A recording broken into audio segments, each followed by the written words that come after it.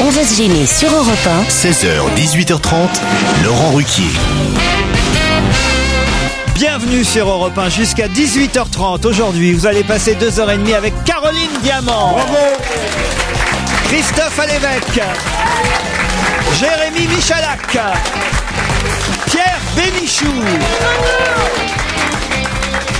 Et je pense que je vais devoir sévir car nous avons deux absents retardataires en la personne de Christine Bravo d'un côté qui a une bonne excuse parce qu'apparemment elle est bloquée par la police qui enfin l'a retrouvée.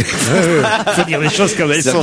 Tant qu'on avait filé la vie de recherche. Mais enfin, elle ne saurait tarder. Il paraît qu'ils l'ont relâchée. Ça y est, elle va tout nous expliquer dès qu'elle arrivera. Quant à Titoff, bon, là, ça devient habituel, mais trop habituel. Et je comptais sur Monsieur de Kersozon pour sévir auprès Non, de il lui. faut pas le sévir, simplement il faut le signaler à l'administration qu'il soit viré. quand même pas. Pas pourquoi on se lèverait, nous, avec des... des- Enfin, on, se lèverait de table, parce que c'est l'après-midi. avec, avec, avec du mal, avec tout ça. Pourquoi pour, pour- 14 pour arriver à l'heure, son goûter même pas avalé. Et de tout ça pour pour pour l'autre arrive là avec une bonne excuse et lui qui est, qui est absolument fou de joie de le voir alors encore en retard. C'est- vrai, je suis trop bon, trop gentil avec avec vous tous d'ailleurs. hein. Oh non, non, non. Cela dit, je trouve qu'il est très difficile d'être agressif avec euh, Titoff. Ah. On ne peut pas agresser ce mec. Ben, parce qu'il me paye bien. non, mais il y dégage une telle sympathie. euh. Non, c'est pas ça. C'est que quand Pierre arrive en retard, il est de mauvaise humeur et Oui. il nous engueule nous. Oui, il a raison. Il attaque en premier. Alors que quand il arrive à l'heure, il est Ah de ouais. très bonne humeur. C'est beaucoup mieux. C'est vrai. C'est pourquoi quand vous êtes en retard, vous êtes en colère contre les autres, Pierre. pas. Je sais pas. Comme je suis toujours en retard, c'est ça le drame dans ma vie. C'est vrai, quand je suis en retard, j'ai l'impression que j'ai manqué quelque chose, que les gens vont pas m'aimer et tout ça. J'ai quelques mails évidemment pour démarrer cette émission. Johan qui m'envoie une histoire drôle. Il y a longtemps qu'on n'a pas raconté une histoire drôle, enfin drôle, une histoire. euh, Ça fait longtemps qu'on n'a pas dit en regardant Pierre Bénichou. Pré- Préparez-vous à vous marrer. Écoutez, c'est une femme qui se réveille pendant la nuit et qui constate que son mari n'est pas au lit. Elle enfile son peignoir et descend voir où est son mari. Elle le trouve dans la cuisine, assis devant une tasse de café. Il paraît bouleversé et là il fixe le mur. Elle le voit essuyer une larme comme il avale une gorge de café. Mais qu'est-ce qui va pas, mon chéri lui dit-elle. Le mari lève les yeux de son café et lui demande solennellement. Tu te souviens, il y a 20 ans, quand on s'était donné rendez-vous, tu n'avais alors que 16 ans. Oui, je m'en souviens, répond-elle. Le mari fait une pause. Les mots lui viennent difficilement. Tu te souviens que ton père nous a surpris en train de faire l'amour à l'arrière de la voiture Oui, je me souviens. Le mari continue. Souviens-tu quand il a pointé son flingue sur ma tempe et qu'il a dit ou tu épouses ma fille ou je t'envoie en tôle pour 20 ans? Oui, je m'en souviens. Eh ben, j'aurais été libéré aujourd'hui. Ça, c'est une blague pour Christophe Alévèque. Alors que Christine Bravo fait son entrée dans, dans l'émission. Oh, Ouais, tout, oui. tout de cuir vêtu, euh, Christine. Le cuir vêtu avec les menottes à la main. Les, les- les flics arrêtent les blousons noirs. Ouais, ouais, tu sais ce ce qui m'est arrivé Non, allez-y. Il y a eu une fusillade rue d'Assas. On est, une on est- fusillade rue Je te d'Assas. jure, on n'est pas en sécurité dans Une fusillade rue d'Assas. Ouais, ouais, C'était ouais. pas ce matin, ça? Il y a toujours de l'ambiance à la fac de droit là-bas. On verra demain dans les journaux. Ouais, genre un pétard euh, devant une fac rue d'Assas. Parce que Christine Bravo affolée. euh. Christine, une fusillade rue d'Assas, c'est Ouais, une porte qui a claqué au 29. C'est un pneu, c'est un pneu qui a crevé ou. euh, Non mais de toute façon, maintenant, ce sera un quart d'heure en moins sur votre salaire. C'est comme ça qu'on doit faire. Et, et ça, normalement, Non, ça... Et est si on recommencé, si on arrive avec une demi-heure d'avance, C'est pas con. vous aurez une avance sur votre salaire. c'est gentil. Merci patron. Salut toute la bande, m'écrit Virgile. C'est amusant que Pierre Bénichou nous dise de façon ironique que les Auvergnats aient un très bon couscous. Car figurez-vous que j'ai lu dans un livre d'histoire de la gastronomie que le couscous vient pour partie d'Auvergne. En effet, à l'époque où les Arabes ont envahi la France, ils ont découvert un plat local composé de légumes et de semoules de blé dur dont le nom ressemblait un peu au couscous. Et ils ont rapporté cette idée chez eux. Ça paraît absurde, mais c'est vrai, le couscous vient en partie d'Auvergne. Mais je le savais. Je le savais. Tu parles. Oui, et la, et la, et la, et la, C'est que sau- c'est une connerie, hein. et la, et la saucisse, et la saucisse vient d'Alger, comme chacun sait. Ça s'appelle la merguez, même au départ. Caroline peut-elle arrêter de dire sans cesse OK, OK, OK Voilà. Ok. OK, c'est vrai que vous dites trop OK, euh, Oh, ça Caroline. va, je le dis quoi? 4-5 fois par heure? C'est pour faire jeune. Non, c'est parce que c'est pour arrêter les autres quand je trouve, quand je cherche une réponse. Puis j'ai là un papier euh, et un mail intéressant signé Patrick qui prouve que parfois on dit des trucs, euh, euh, on s'aperçoit que le second degré ne fonctionne vraiment pas. Ah. C'est Pierre Bénichou. qui voulant présenter Philippe Alfonsi à Olivier de Kersauzon euh, vendredi dernier, il lui a dit ah tu sais tu poses une question euh, de quel est l'auteur des Misérables, il, répond Zola hein. et là il y a un auditeur qui fait ne serait-ce pas plutôt Victor Hugo? Oui, oui, c'est ça. On ne peut jamais, jamais, jamais faire une C'est comme quand ça, même dingue. C'est inqui- c'est inquiétant quand même. hein. C'est-à-dire qu'il y a un seul auditeur qui puisse penser que Pierre Bénichou ne connaisse pas l'auteur des Misérables. Non, Quand même, là, faut faut pas pas- déconner. Surtout que ça doit pas être le seul en plus. Non, ils aiment pas les gens qu'on rigole avec ça. C'est quand même fou, hein. Comme si tu disais, euh, l'école est finie, euh, chanté par Sylvie Vartan, non, c'est chez là. Faut pas rigoler avec ce genre de truc. Et puis enfin, un auditeur addict à notre émission qui a été très déçu de constater que nous avions une image trop négative euh, des capsules Nespresso. Je ne suis qu'un petit maillon de la chaîne, dit-il. Je suis spécialiste café au nouveau Nespresso de la rue Bonaparte à Paris, à deux pas euh, du magasin de la rue Dubac. Et je conseille à monsieur Bénichou de venir dans ma boutique. Nous lui offrirons un Nespresso, Non, bien sûr. Putain, j'y vais tout de suite. Mais que- une seconde. Mais en plus, il ne fera pas la queue car dans notre boutique, il n'y a personne. C'est une bonne pub. Je vous passe. une bonne pub. Je vous passe un grand bonjour de la part de Nespresso rue Bonaparte. À bientôt dans notre boutique, Monsieur Bénichou. Voyez J'irai, bien sûr, j'irai. J'irai. Ah, J'irai, mais il faut que je passe à la banque d'abord pour, pour prendre à peu près 3 millions. pour- vrai que c'est pas donné. Oui. C'est l'endroit le plus cher du monde. C'est honteux. Mais c'est bon. Ça y est, ça C'est y bon. est, ça Bon y est. café. C'est bon, c'est bon, si, c'est bon. bon. Ah, si, C'est bon, bon on et c'est peut pas dire pratique. l'inverse. Si tu dresses bien ta, ta, ta mère ou ta femme, elles te font du bon café. Ta grand-mère, ta grand-mère. Ouais, ouais. Raphaël, il va- Bah, j'ai essayé, mais ça a pas marché. Elle s'est tirée la vôtre. Ah avec, la, avec la cafetière. Non, pas, je jure. Au téléphone, j'ai Nora et Christophe qui patientent là depuis un petit moment. Bonjour Nora, bonjour Christophe. Bonjour. Nora est à Lyon, Christophe est à Auto-sur-Seine. Bon, Lyon, on voit à peu près où c'est, mais Auto-sur-Seine, c'est où Christophe? C'est près de chez Renault, non? C'est c'est pas loin de, de Rouen, Pas loin de Rouen, en Seine-Maritime alors. Parfait. à Normand. Vous faites quoi dans la vie, Christophe? Euh, pour l'instant, comme euh, quelques Français, euh, rien. Vous êtes au Euh, Pôle emploi. Voilà. Pôle emploi. Et vous, Nora, à Lyon? Moi, en ce moment, je travaille sur, euh, sur la Biennale d'art contemporain. La Biennale d'art contemporain. C'est-à-dire que vous êtes une artiste Vous êtes... euh, Non, non, pas du tout. Je, je suis dans, euh, dans l'organisation de cet événement. Ah, très bien. Ah, Il y a les installations là-bas ou pas Tout à fait. Ah ouais, moi j'adore les Ah oui, installations. ça va vous plaire. Il Pierre. Venez, venez. Il déteste les Mais installations. oui. Moi, je trouve qu'il y a y, trop de vidéos maintenant dans les, les expos d'art contemporain. Est-ce qu'il y aura beaucoup de vidéos euh, à Lyon? Il y aura des vidéos, des films, euh, Oh là des là. photos, des performances. Euh, La photo, ça va. La photo, ça va parce que bon, on regarde, on peut rester le temps qu'on veut, mais alors une vidéo, parfois, faut se taper 10 minutes avant ou m- voire 30 minutes pour voir l'œuvre euh, de- d'un artiste. Alors, euh, si vous perdez 30 il y a- minutes pendant a- l'ex... Ouais. Il y a aussi des vidéos qui sont très courtes, hein, qui font 2 minutes, 3 minutes. Ah bah alors ça va. voilà, vous- voilà. c'est très bien. Vous avez la dernière, celle faite par Monsieur Hortefeux. J'adore, je me sens bien concernée. Qu'est-ce que vous en pensez, vous, Nora? Eh ben, je suis complètement concernée. Je suis toute seule là. Donc ça va, oui, ça va. Vous êtes un prototype, Nora. Je suis un prototype, exactement. Nora, Christophe, je vous signale que vous aurez à affronter six chroniqueurs, puisque Titoff vient de faire son entrée dans le studio. Et que Pierre Bénichou va tout de suite le sermonner, car on ne peut pas démarrer une semaine comme ça, Titoff. C'est pas possible. Là, il y en a marre. hein. Euh, Pierre, vous avez... non, franchement, aidez-moi là sur cette Ta affaire. pauvre vie va être encore plus terrible si tu continues comme ça. Si tu continues à dire j'ai un défaut, je peux pas m'en, je peux pas m'en séparer, t'es foutu. Et oui, je sais bien, moi aussi j'avais tendance à arriver en retard. Et puis il faut lutter un peu. Ça veut Monsieur dire ça. Zéro défaut, là. je suis pas monsieur zéro défaut, mais je, je sais ce que c'est que les- ce genre de défaut. C'est pas possible de continuer parce que tu peux, on peut pas, tu, tu ne peux pas te, te, te- t'infliger de chaque fois avoir un coup au cœur en disant il est tard, il est tard, il est tard. Pense à toi si tu ne penses pas aux autres. C'est vrai que moi, Ça moi aussi envie le premier, le gag, enfin le truc qu'on a convenu de faire le personnage de mec qui arrive toujours un petit peu en retard, Ça commence à me fatiguer moi Ah aussi. ouais, ouais, ouais, hein. Franchement. Donc demain, vous serez faire- là à 16h. Je, je, je vous le promets, euh, monsieur Laurent Riquier. Mais intérêt, monsieur Titoff, parce que je vais être obligé de sévir.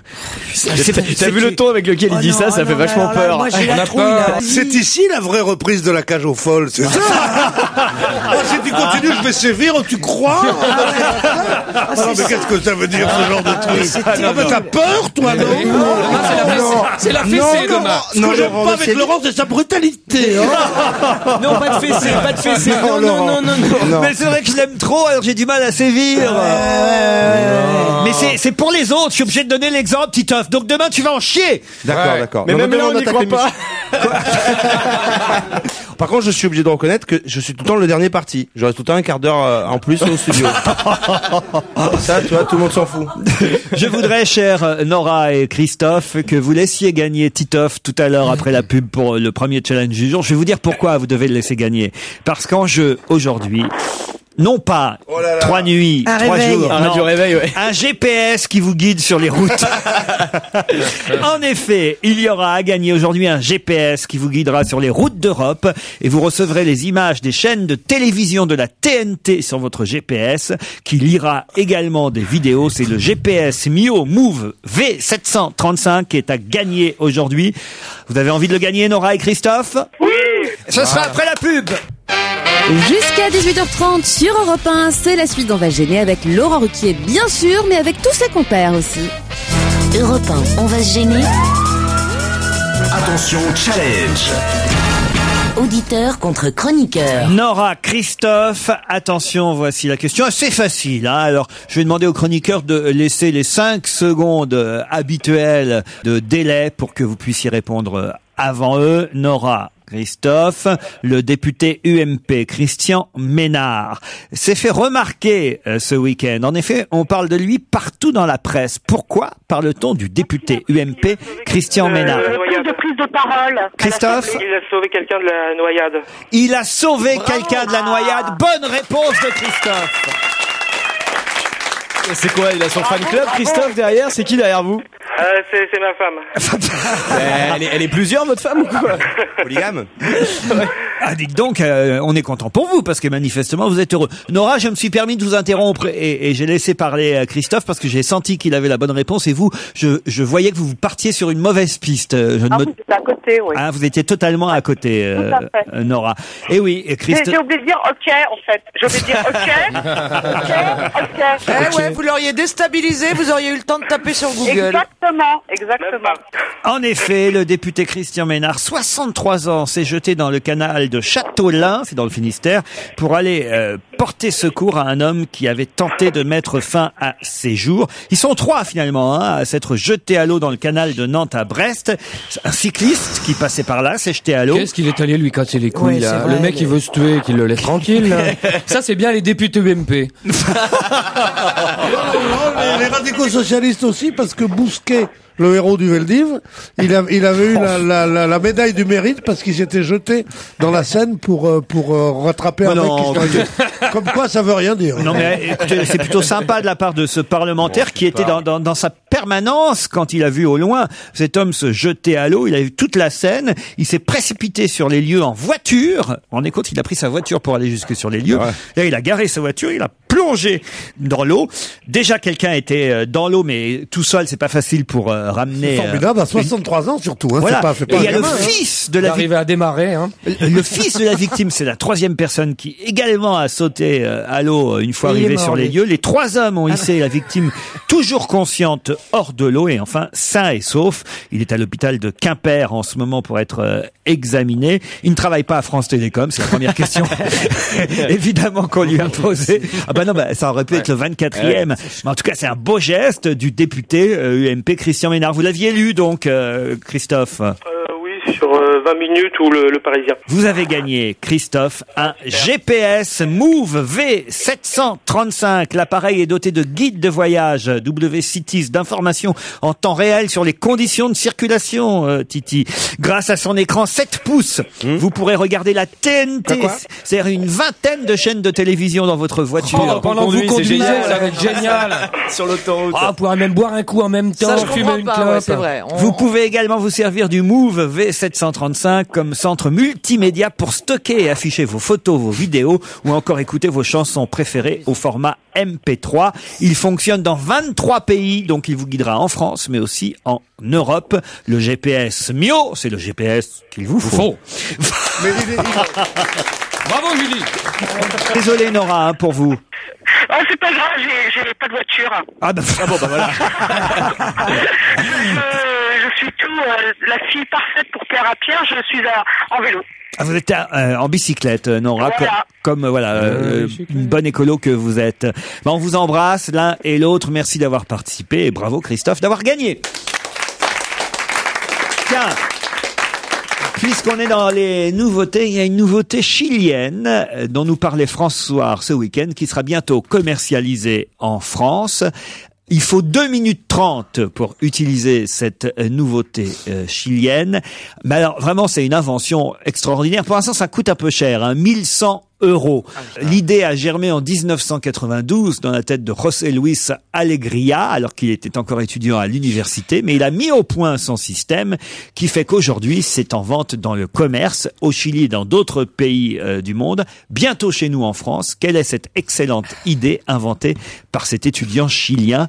2 minutes 30 pour que cette invention fonctionne. 2 minutes 30 comment Genre, euh, il faut le faire chauffer 2 minutes 30 Non, ou, euh non, non, non. 2 non. minutes 30 c'est parce que c'est quelque euh, ça se recharge de manière écologique et Non, que non, non. Il non. a inventé euh, l'œuf à la coque. Non, c'est-à-dire que vous, vous mettez, euh, sans cette invention, évidemment, beaucoup plus que 2 minutes 30. Ah, vous voulez dire que c'est quelque chose qu'on fait déjà Ah oui, il est con, il croit, il croit qu'il a inventé le micro-ondes, mais ça existe depuis Ah, des mais on années. le fait en combien de temps? C'est très très long à faire Oh bah sans- ça dépend, il y en a qui font pas du tout, hein, mais, mais ceux qui le Est-ce font... Ah, l'amour L'amour en 2 minutes 30. Il a inventé l'amour en 2 minutes Bah 30. oui. C'est vachement long. Il y en C'est un a qui ont Chilien. inventé Non, ça mais avant non. lui. Alors, on a des noms. C'est vachement long. hein. Christine, Est-ce que je le fais? Vous, vous le faites. Ah donc c'est pas l'amour? Attends, attends, attends. Euh, et à mon, remarquez, à mon avis, vous, faites- vous le faites pas tous les jours, vous. Ah, se laver? Le ménage? Non, mais c'est vrai. Est-ce que, les Indiens, Est-ce que les Indiens C'est turlipotent c'est vrai que là, c'est lundi, elle, elle est propre, euh, Christine. Vous Ah avez vu, ouais. elle a les Ah cheveux, oui, c'est regardez, le elle, a- lundi, Ah, vendredi, elle va être dégueulasse. elle a les cheveux nickel C'est et vrai tout. qu'elle fait net, là. euh, Est-ce qu'on peut s'en servir plusieurs fois 2 minutes 30 D'affilée. Ah non, non, non, ça sert qu'une fois. Homme ou femme Oui, oui, c'est homme ou femme. On s'en sert à la maison Mais c'est vrai que les hommes vont particulièrement apprécier et les femmes aussi d'ailleurs. C'est sexuel Ça, ça- ou pas C'est Mais pas sexuel du Ça tout. se passe. Ça se passe dans la maison. Oui, oui, ça se passe à la maison. Ça descend les poubelles tout seul. Non, non, non, mais voilà, c'est de Ah, ok, cet c'est ordre-là. dans le genre. Ça, ça s'appelle un majordome. ça. Ça a un rapport avec la cuisine? Du tout. Non, Avec le ménage. C'est vrai que si vous trouvez la pièce de la maison dans laquelle... La salle chambre. de bain. La salle de bain. Non, non, Les toilettes. non, non plus. La chambre. La chambre. Voilà. Alors, C'est dans la chambre. Ok. Ok, ok. ok, oh. Tu fais ton lit plus vite. C'est-à-dire Un truc qui Eh fait ben, ton lit à un ta truc place. qui fait ton lit tout seul. le lit qui se fait tout seul. Bonne réponse de Christine Bravo. C'est génial. Comment ça marche C'est complètement con encore ce truc-là. Comment ça, c'est Bah, complètement... déjà faire son lit, c'est con. Ah bah oui, mais alors voilà, je savais bien qu'il y en a qui le faisaient Ouais, jamais puis leur si ça lit. se met en marche pendant que Mais t'es dedans, t'as jamais pas trouvé. l'air con. Pourquoi faire son lit alors qu'on va le défaire le soir? Je n'ai jamais compris. Vous ça. appuyez sur un bouton, vous attendez 2 minutes 30 et ça y est, votre lit est fait. Ça me fascine, j'adorerais voir. T'appuies sur un bouton, il y a quelqu'un qui sort d'un placard qui va Ouais, faire ton lit. c'est ça, Il oui. y a un Philippin, il y a un Philippin qui sort le placard. Non, non, Et le, Fi- et le Philippin est pas cher, hein non, non, je vais vous expliquer. Est sympa, tu peux faire d'autres trucs avec lui. Le mécanisme s'apparente à celui d'un matelas gonflable et nécessite des draps spéciaux double épaisseur. Vous avez deux tubes sur les côtés des draps, l'un situé à l'intérieur du drap de dessus, l'autre du drap de dessous.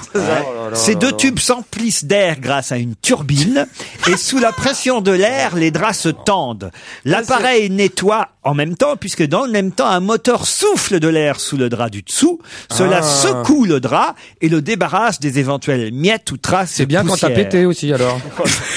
Une fois, si ça se déclenche pendant la nuit, une fois le lit fait et nettoyé, les draps se dégonflent et bed, c'est le nom du lit, bed redevient un lit original. classique. Oh bah si, au Chili, c'est original. La, la quantité d'énergie consommée quotidiennement équivaut à celle utilisée pour faire bouillir un demi-litre d'eau. Donc, c'est pas Ah, grand-chose. j'avais peur que ce soit pour faire décoller non, un non, jet. non, non.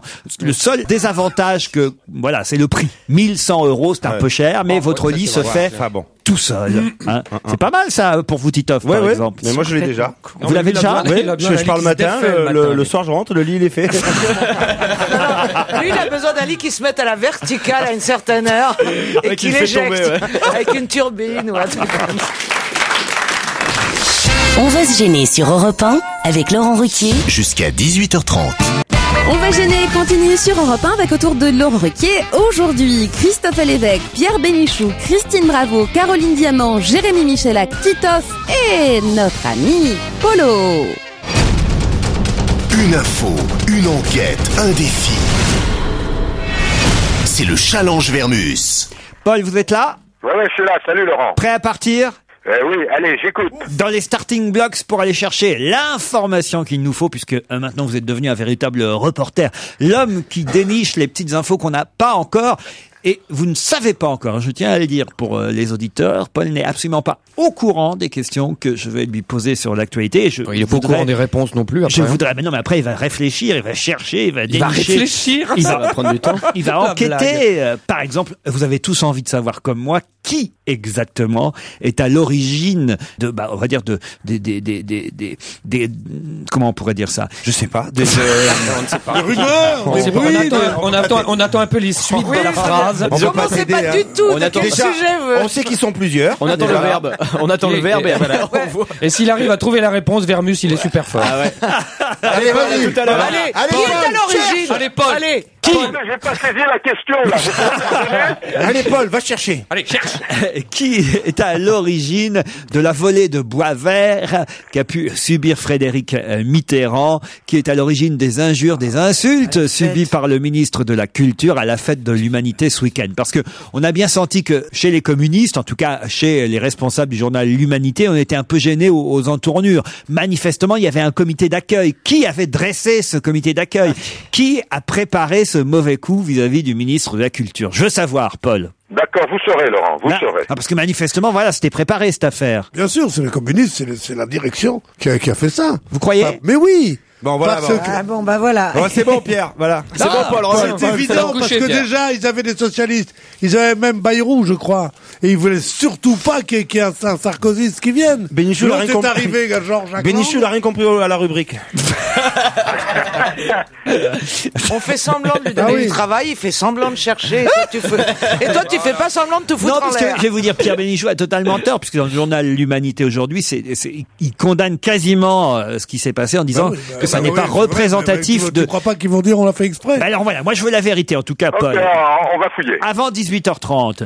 Autre sujet polémique du moment, Brice Hortefeux à Seignos. Ceux qui avaient vu la première vidéo qui a circulé un peu partout sur Internet pouvaient encore avoir un, un- un léger doute sur euh, euh, effectivement la version de Brice Hortefeux. Est-ce que vraiment sa phrase répondait euh, à la présence de ce jeune euh, militant euh, d'origine mi-portugaise, mi-maghrébine, ou euh, est-ce que c'était vraiment des propos euh, qu'on peut considérer euh, racistes. Depuis, la chaîne publique Sénat, qui a filmé l'intégralité de la scène, a mis euh, sur son site internet, repris par d'autres sites, comme par exemple celui de Jean-Marc euh, Morandini, a mis l'intégralité de la vidéo, et on voit très bien qu'il y a absolument aucun doute possible, puisque là maintenant, on entend la dame, euh, on voyait pas ce qu'elle disait, on n'entendait pas ce qu'elle disait la dame qui avait entre le monsieur et Brice Hortefeux, et maintenant on l'entend dire, oui c'est notre arabe euh, à nous, on en, on, on- c'est notre arabe, voilà, c'est notre arabe de service. Et ah, c'est à ça que Brice Hortefeux répond, ah ça va, et euh, Et plusieurs... il faut rendre hommage à la chaîne Sénat qui publie ça, qui n'a mis que 5 jours à publier ça. hein. Mais c'est vrai, comme c'est dirigé par un homme de gauche, maintenant, il,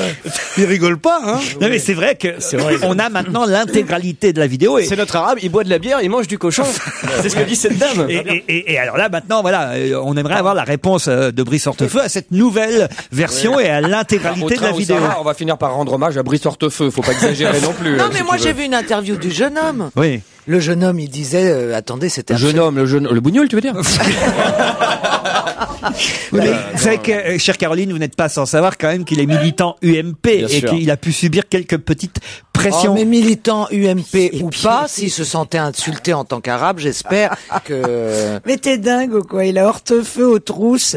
Il a vachement pas intérêt à dire ouais salopard et tout. Mais pas salopard, mais, dire sa c'est ignoble et scandaleux. C'est un militant, il lui, soutient envers mais lui d'abord, il a pas pris pour lui puisqu'il était tout seul. Oui, et puis, et puis, vous savez, il y a aussi euh, des militants, euh, enfin je veux dire, il y a aussi des personnes d'origine euh, maghrébine qui pensent qu'ils devraient être les seuls dans le pays, qu'il ne devrait pas y en avoir d'autres. Hein. C'est peut-être tout simplement ce qu'ils pensent, mais bien sûr. Moi, moi, moi, j'ai bien- Comme il y a des noirs au Front National, vous voyez, je veux dire, c'est pareil. Bien euh, sûr. J'ai bien analysé l'histoire. Ce qu'on reproche à Hortefeux, c'est pas d'avoir fait une plaisanterie un peu un peu lourdingue comme ça qu'on doit faire entre quatre amis et encore. Au bistrot. hein. Mais qu'on qu'on ne fait pas ta mise intérieure, c'est surtout d'avoir menti après et d'avoir tellement. Il y a une expression en espagnol, c'est poca gracia. Ah, il manque ça. de grâce, le mec. Il manque de grâce. Il, il est- il nul, quoi. Oui, bien sûr. Ouais, oh, bah, c'est les Auvergnats que je disais. Et ce soir, vous savez ce qu'il fait ce soir? Il va manger, casser le ramadan dans un truc où il va manger un couscous avec la commu- communauté euh, musulmane qu'il a, qu'il a invité. Tout ça, c'est nul tout ça. c'est ça- nul. Mais comme ça, il C'est nul. Non, parce que je suis assez d'accord avec vous. Alors, Quand on disait en Algérie, on dit va te cacher, va te cacher. Parce que franchement, C'est objectivement, honteux, je trouve exagéré euh, la- Très le- exagéré. l'opposition qui demande sa démission. Moi, franchement, je, Oh trouve, non, je trouverais ça nul qu'il démissionne, mais simplement qu'ils nous prennent juste pas pour des cons, quoi. C'est ça qu'on voudrait, quoi. Alors, mais ça va, Qui, je- qui eh. disent juste, bah écoutez, voilà, on était dans une bonne ambiance, on, on- voilà, j'ai j'ai j'ai fait une mauvaise Voilà. blague et, je, et je vous prie de m'en excuser. Ça suffirait, quoi. Ça suffirait, mais qu'ils nous prennent pas pour des cons en nous disant qu'ils parlent des Auvergnats. C'est juste ça qu'on veut. Mais je te dis pas. C'est sûr, les Auvergnats, quand il y en a beaucoup, Mais le c'est pire, c'est le pire, c'est Ah, pas le pire, c'est pas ça. C'est que non seulement lui nous prenne pas pour des cons, mais c'est que tous ses amis défendent. du gouvernement. Ah ouais. Ne nous prennent pas pour des cons. Voilà, Enfin, ça, c'est- Fadela Amara dans cette histoire. Ça, Ah, c'est oui, oui, terrible. il y a, une chose qui est, qui est terrible aussi, c'est que déjà, comme je disais, j'étais le premier à le dire dans la presse mondiale. Je plaisante, je plaisante, je disais, c'est-à-dire que tout le monde disait, euh, tout le monde a le droit de planter sauf un ministre de l'Intérieur. Mais ce que je, ce que je, ce qu'on a oublié de dire, c'est sauf ce ministre-là qui a été chargé de refouler tous les tous, tous, tous les gens qui n'avaient pas la couleur de peau ou les papiers nécessaires selon lui pour vivre en France, c'est-à-dire qui a été le grand expulseur et qui dit quand il y en a quand on est à plusieurs, ça va pas. Alors Paul Vermus, ma question, et c'est là où j'attends une réponse avant 18h30, c'est pourquoi y a-t-il une différence si nette entre les deux vidéos? Celle, la, la première qu'on a vue circuler sur euh, Internet où, où effectivement il y avait éventuellement l'ombre, la possibilité de l'ombre d'un doute, et la nouvelle qui est euh, sur Internet depuis euh, vendredi dernier, mais on en parle beaucoup moins, euh, et, et depuis vendredi dernier, il y a l'intégralité de la scène. Pourquoi on n'a pas vu tout de suite l'intégralité de la scène? Moi je veux savoir pourquoi. D'accord Paul? Ok, j'ai bien compris votre question qui fait d'ailleurs débat, puisque ça fait un moment où vous débattez là. Hein Ah oui, alors ça vous avez remarqué, hein ouais, ouais, ouais. Il n'y a pas un Et forfait pendant ce temps-là, je perds du temps, moi. Et est-ce que tu peux aussi te renseigner pour, pour savoir ce qu'ils vont lui mettre dans le couscous ce soir? Et puis alors la dernière question, c'était dans euh, le Parisien ce week-end, on nous disait que le premier tome des mémoires de Jacques Chirac, qui devait sortir début octobre, est finalement retardé d'un mois. Normalement, euh, le livre des mémoires de Chirac sortira début novembre au lieu de début octobre. Et le prétexte qu'on nous donne, en tout cas la raison dévoilée par le Parisien, c'est que sur la photo de couverture, on voyait Monsieur Chirac fumer. Et, ça, c'est la version officielle. Mais est-ce qu'il n'y aurait pas une autre raison au retard de la publication, de la sortie du livre des mémoires de Jacques Chirac? Pourquoi ce livre est-il retardé d'un mois? Euh, je crois que maintenant on se quitte, hein Parce que le temps presse. Vous voulez non mais vous voulez combien de temps pour- euh, Écoutez, j'ai très peu de temps, j'ai à peine une heure et demie, Laurent. Parce que hein. j'aurais bien donné une petite question supplémentaire. euh, Non, c'est pas utile, vraiment, j'aurais pas le temps. Dites-la quand même, dites-la quand même. Bah, parce qu'il y a une autre affaire quand même depuis euh, euh, depuis ce week-end, c'est l'affaire Jean-Luc Delarue, euh, le journal Le Parisien aujourd'hui. Vous avez vu les deux Oui, pages. mais enfin, ça, c'est une opération de déstabilisation, comme on l'a fait d'ailleurs pour Domenech la semaine dernière. Alors, alors attendez, moi je veux savoir, il y a deux pages entières terribles hein, consacrées à Jean-Luc Delarue. Quoi qu'on pense euh, de cet animateur, franchement, euh, c'est un peu euh, un peu lourd à lire ces deux pages entières qui manifestement, si on a bien compris, sont dues aussi au fait que Jean-Luc Delarue a annulé la veille pour le lendemain un rendez-vous avec les deux journalistes en question. Si bien que les deux journalistes ont fait une double page sans avoir rencontré Jean-Luc, et alors il est assassiné sur deux pages entières. Alors, est-ce qu'il y a un vieux conflit entre le journal et Jean-Luc Delarue? Pourquoi ces deux pages? Pourquoi il a annulé le rendez-vous? Enfin, c'est tout ça qu'on veut savoir. euh, Bon, Paul. écoutez, ça suffit. Fiche, je vous quitte parce que là, vraiment, c'est très difficile. hein. Et puis, Non, dernière non, question. Non, non, non. Allez, petite dernière. Non, pas, pas, j'aurais pas le temps. Alors, franchement, soyez gentils, rendez-moi ma liberté. là. Dernière question. Est-ce que vous n'êtes pas jaloux de Jacques Pessis auprès de Daniel Ombroso le dimanche Ah, après-midi non, non, non, j'ai vu, j'ai vu, j'ai vu l'émission, il présente bien, hein. Petit crâne chauve aux petites lunettes, là.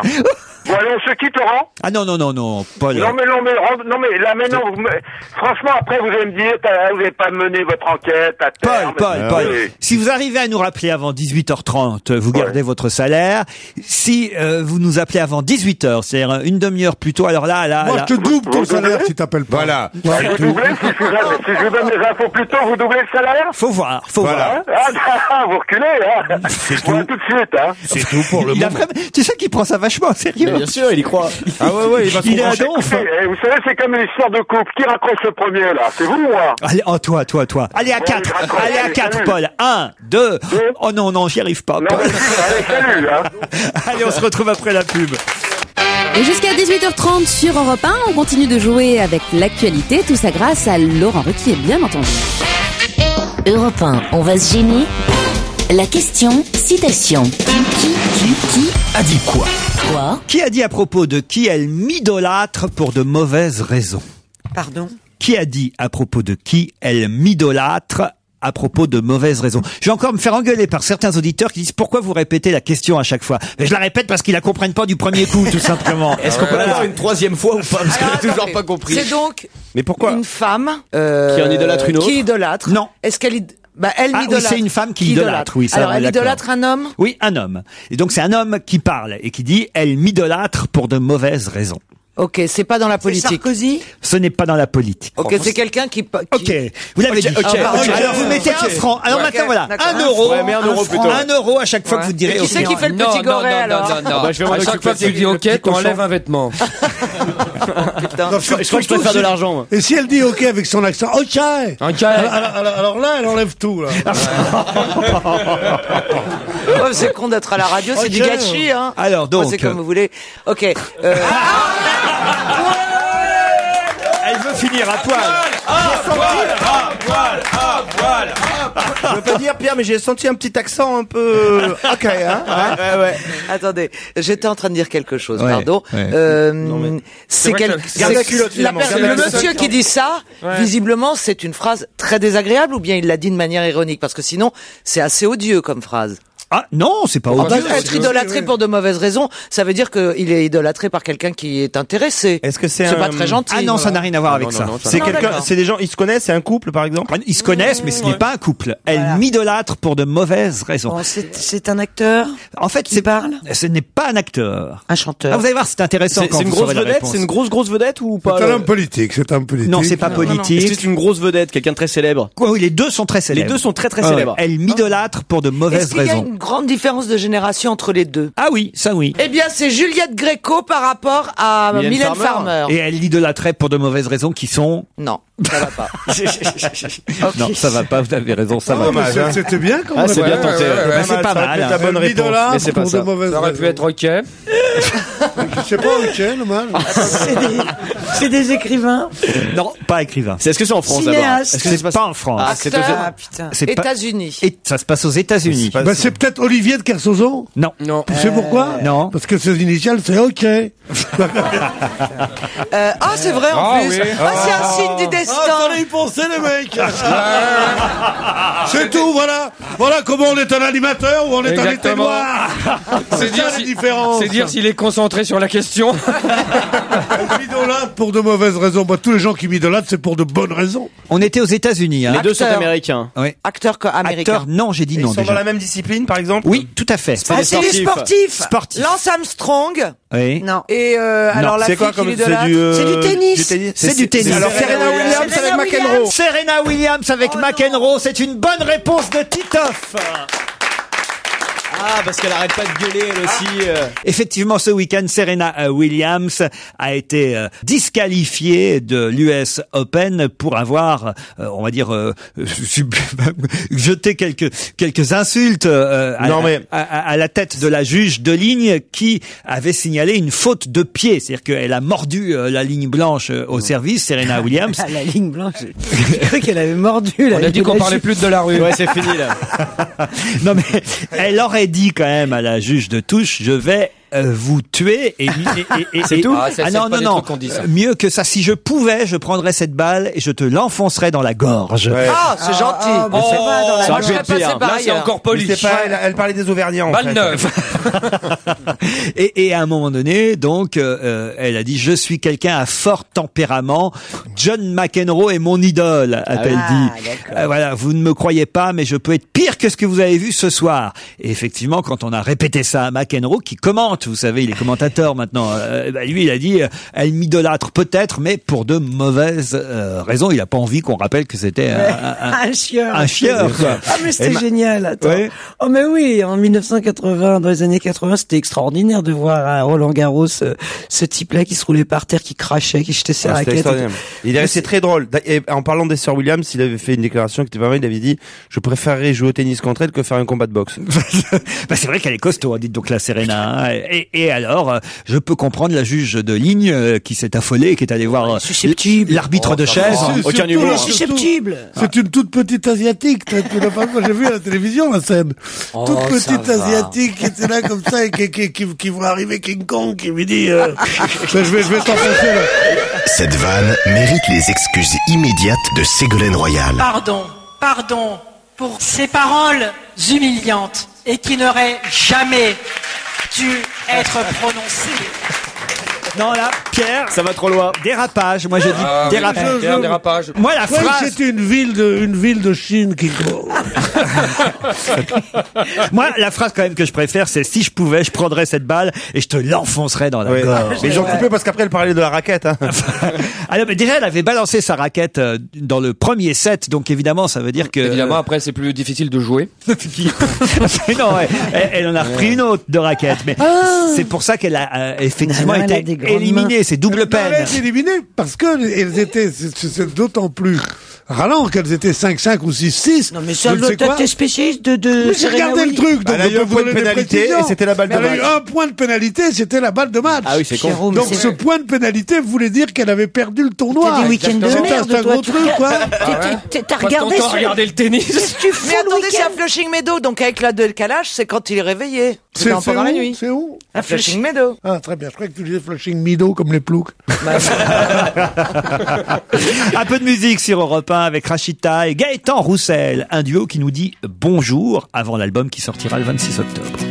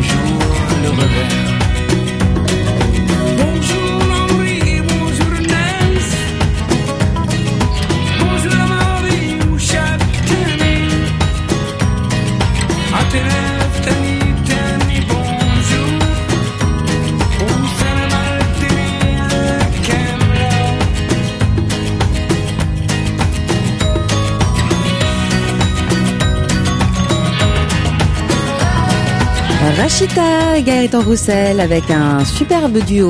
Bonjour, on va marquer une toute petite pause sur Europe 1. Vous restez avec nous moins de deux minutes, on est bien ensemble, non? À tout de suite. Bah si, Vraiment. quand même. C'est pas ça qu'ils ont mis en musique d'attente chez France Télécom? Ah oui? Mylène Farmer?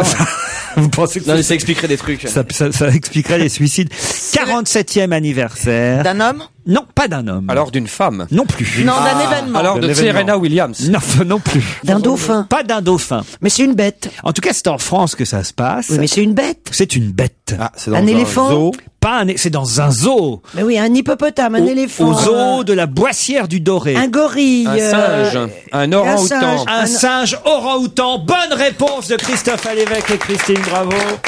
Bonjour Sébastien Laurent. Outan Bonjour. C'était le singe. que- 47e anniversaire d'un orang-outan. Il paraît que c'est un record de longévité, record du monde. En fait, c'est le plus vieux mâle reproducteur du monde, oui. Et il est chez nous en France. Et il est chez nous en France. On a depuis, toujours euh, des maintenant Dédés. 20 ans. En Corée, ils ont le plus jeune prix Nobel du monde. Nous, on a le plus vieux orang-outan. Major, c'est le nom de votre, euh, enfin je dis votre orang-outan, il n'est pas tout à fait à vous, vous êtes son soigneur, c'est Oh, bien c'est ça son père, quand même. Sébastien, Bah, c'est en responsable, oui. vous êtes responsable. Préparateur physique, comme. Euh, vous le connaissez depuis combien de temps Bah, il est arrivé chez nous en mars euh, 89 d'un zoo allemand. et, et comment vous expliquez sa longévité 47 ans Ah, ça veut dire qu'on s'en occupe il pas fume trop pas, mal. il Et boit puis, pas. euh, il- il a une belle famille, donc c'est, on a aussi la chance d'avoir avec lui la plus grande famille d'Europe. C'est un père en plus exemplaire puisqu'il a eu plein de petits chez nous. Et, euh, combien, combien groupe, Combien de bah, On a petits eu euh, sept petits chez nous déjà. Et là je crois qu'il devait être papa pour la septième fois en septembre dernier. Ouais, et là, hélas, pour la première fois, ça n'a pas marché, mais c'est pas lui le fautif, c'est la, la maman qui a eu, qui a eu un, qui a, fait un mort-né euh, trois semaines avant le terme. À 47 ans, il peut encore avoir des enfants Ouais, ouais. Dis donc, dites pas ça à ma femme. hein. Majeur, le plus vieil orang-outan du monde, a fêté ses 47 ans au de la Boissière du Doré. C'est où la Boissière du Doré Alors, c'est dans le, dans la Loire-Atlantique, on est à 30 km au sud de Nantes. Et ça vit jusqu'à quel âge À un côté de l'orang-outan Alors, normalement, la longévité moyenne en, dans la nature, c'est entre 32 et 34 ans, Ah et ouais. en captivité, on, la moyenne, c'est 34-36 ans. On gagne quand même 2-3 ans. Et il a 47 Et là, il a déjà 10 ans de plus que la moyenne. Là, il, est- il est au bout là hein. Vous êtes sûr qu'il triche pas avec son âge des fois Non, Il n'y a pas un homme à l'intérieur. 47 et il, a- et il a toujours de, de belles érections en plus, alors si j'ai compris. Ah ouais, ouais, mais enfin, c'est pas, euh, Ah, pas très très grand hein, chez les orang-outans. Ah bon, C'est-à-dire Ah bon Quelques centimètres. Bah, Comment déjà- tu sais, Christine parce que j'ai- une vie.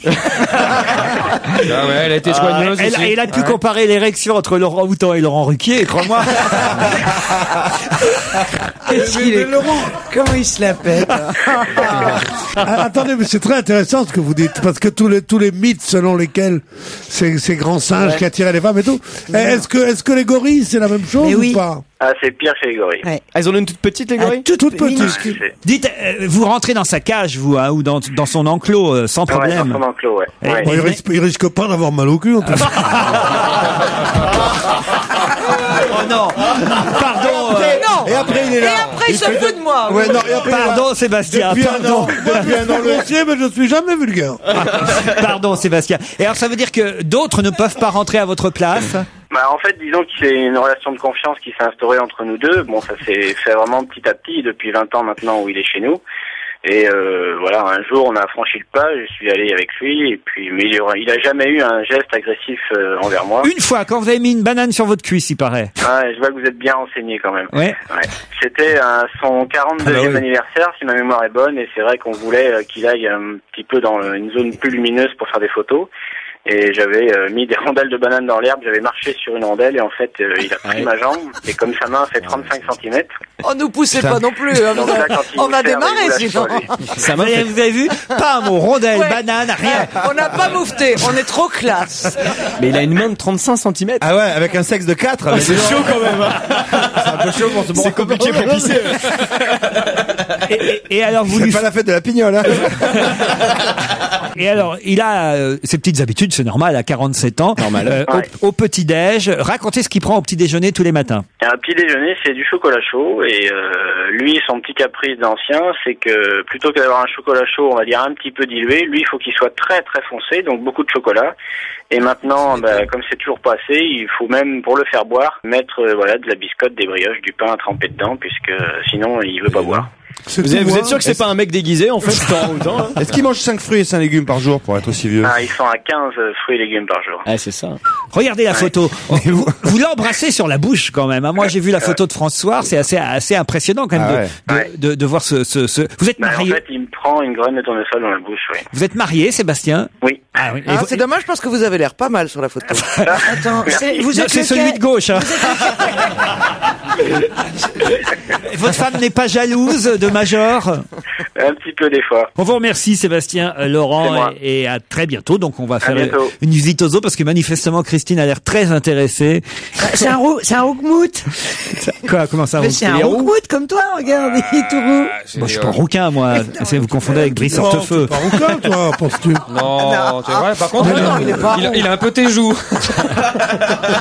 T'es pas rouquin, t'es blond cendré.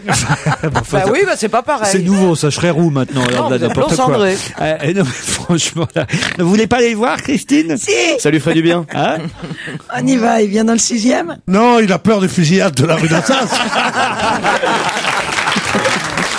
Laurent Ruquier sur Europe On va se gêner. C'est la deuxième heure d'On va se gêner, toujours avec Titoff, Caroline Diamant, Christine Bravo, Christophe Alévèque, Jérémy Michalak et Pierre Bénichou. Sans oublier Gwenola, qui est à Voiron. Bonjour Gwenola.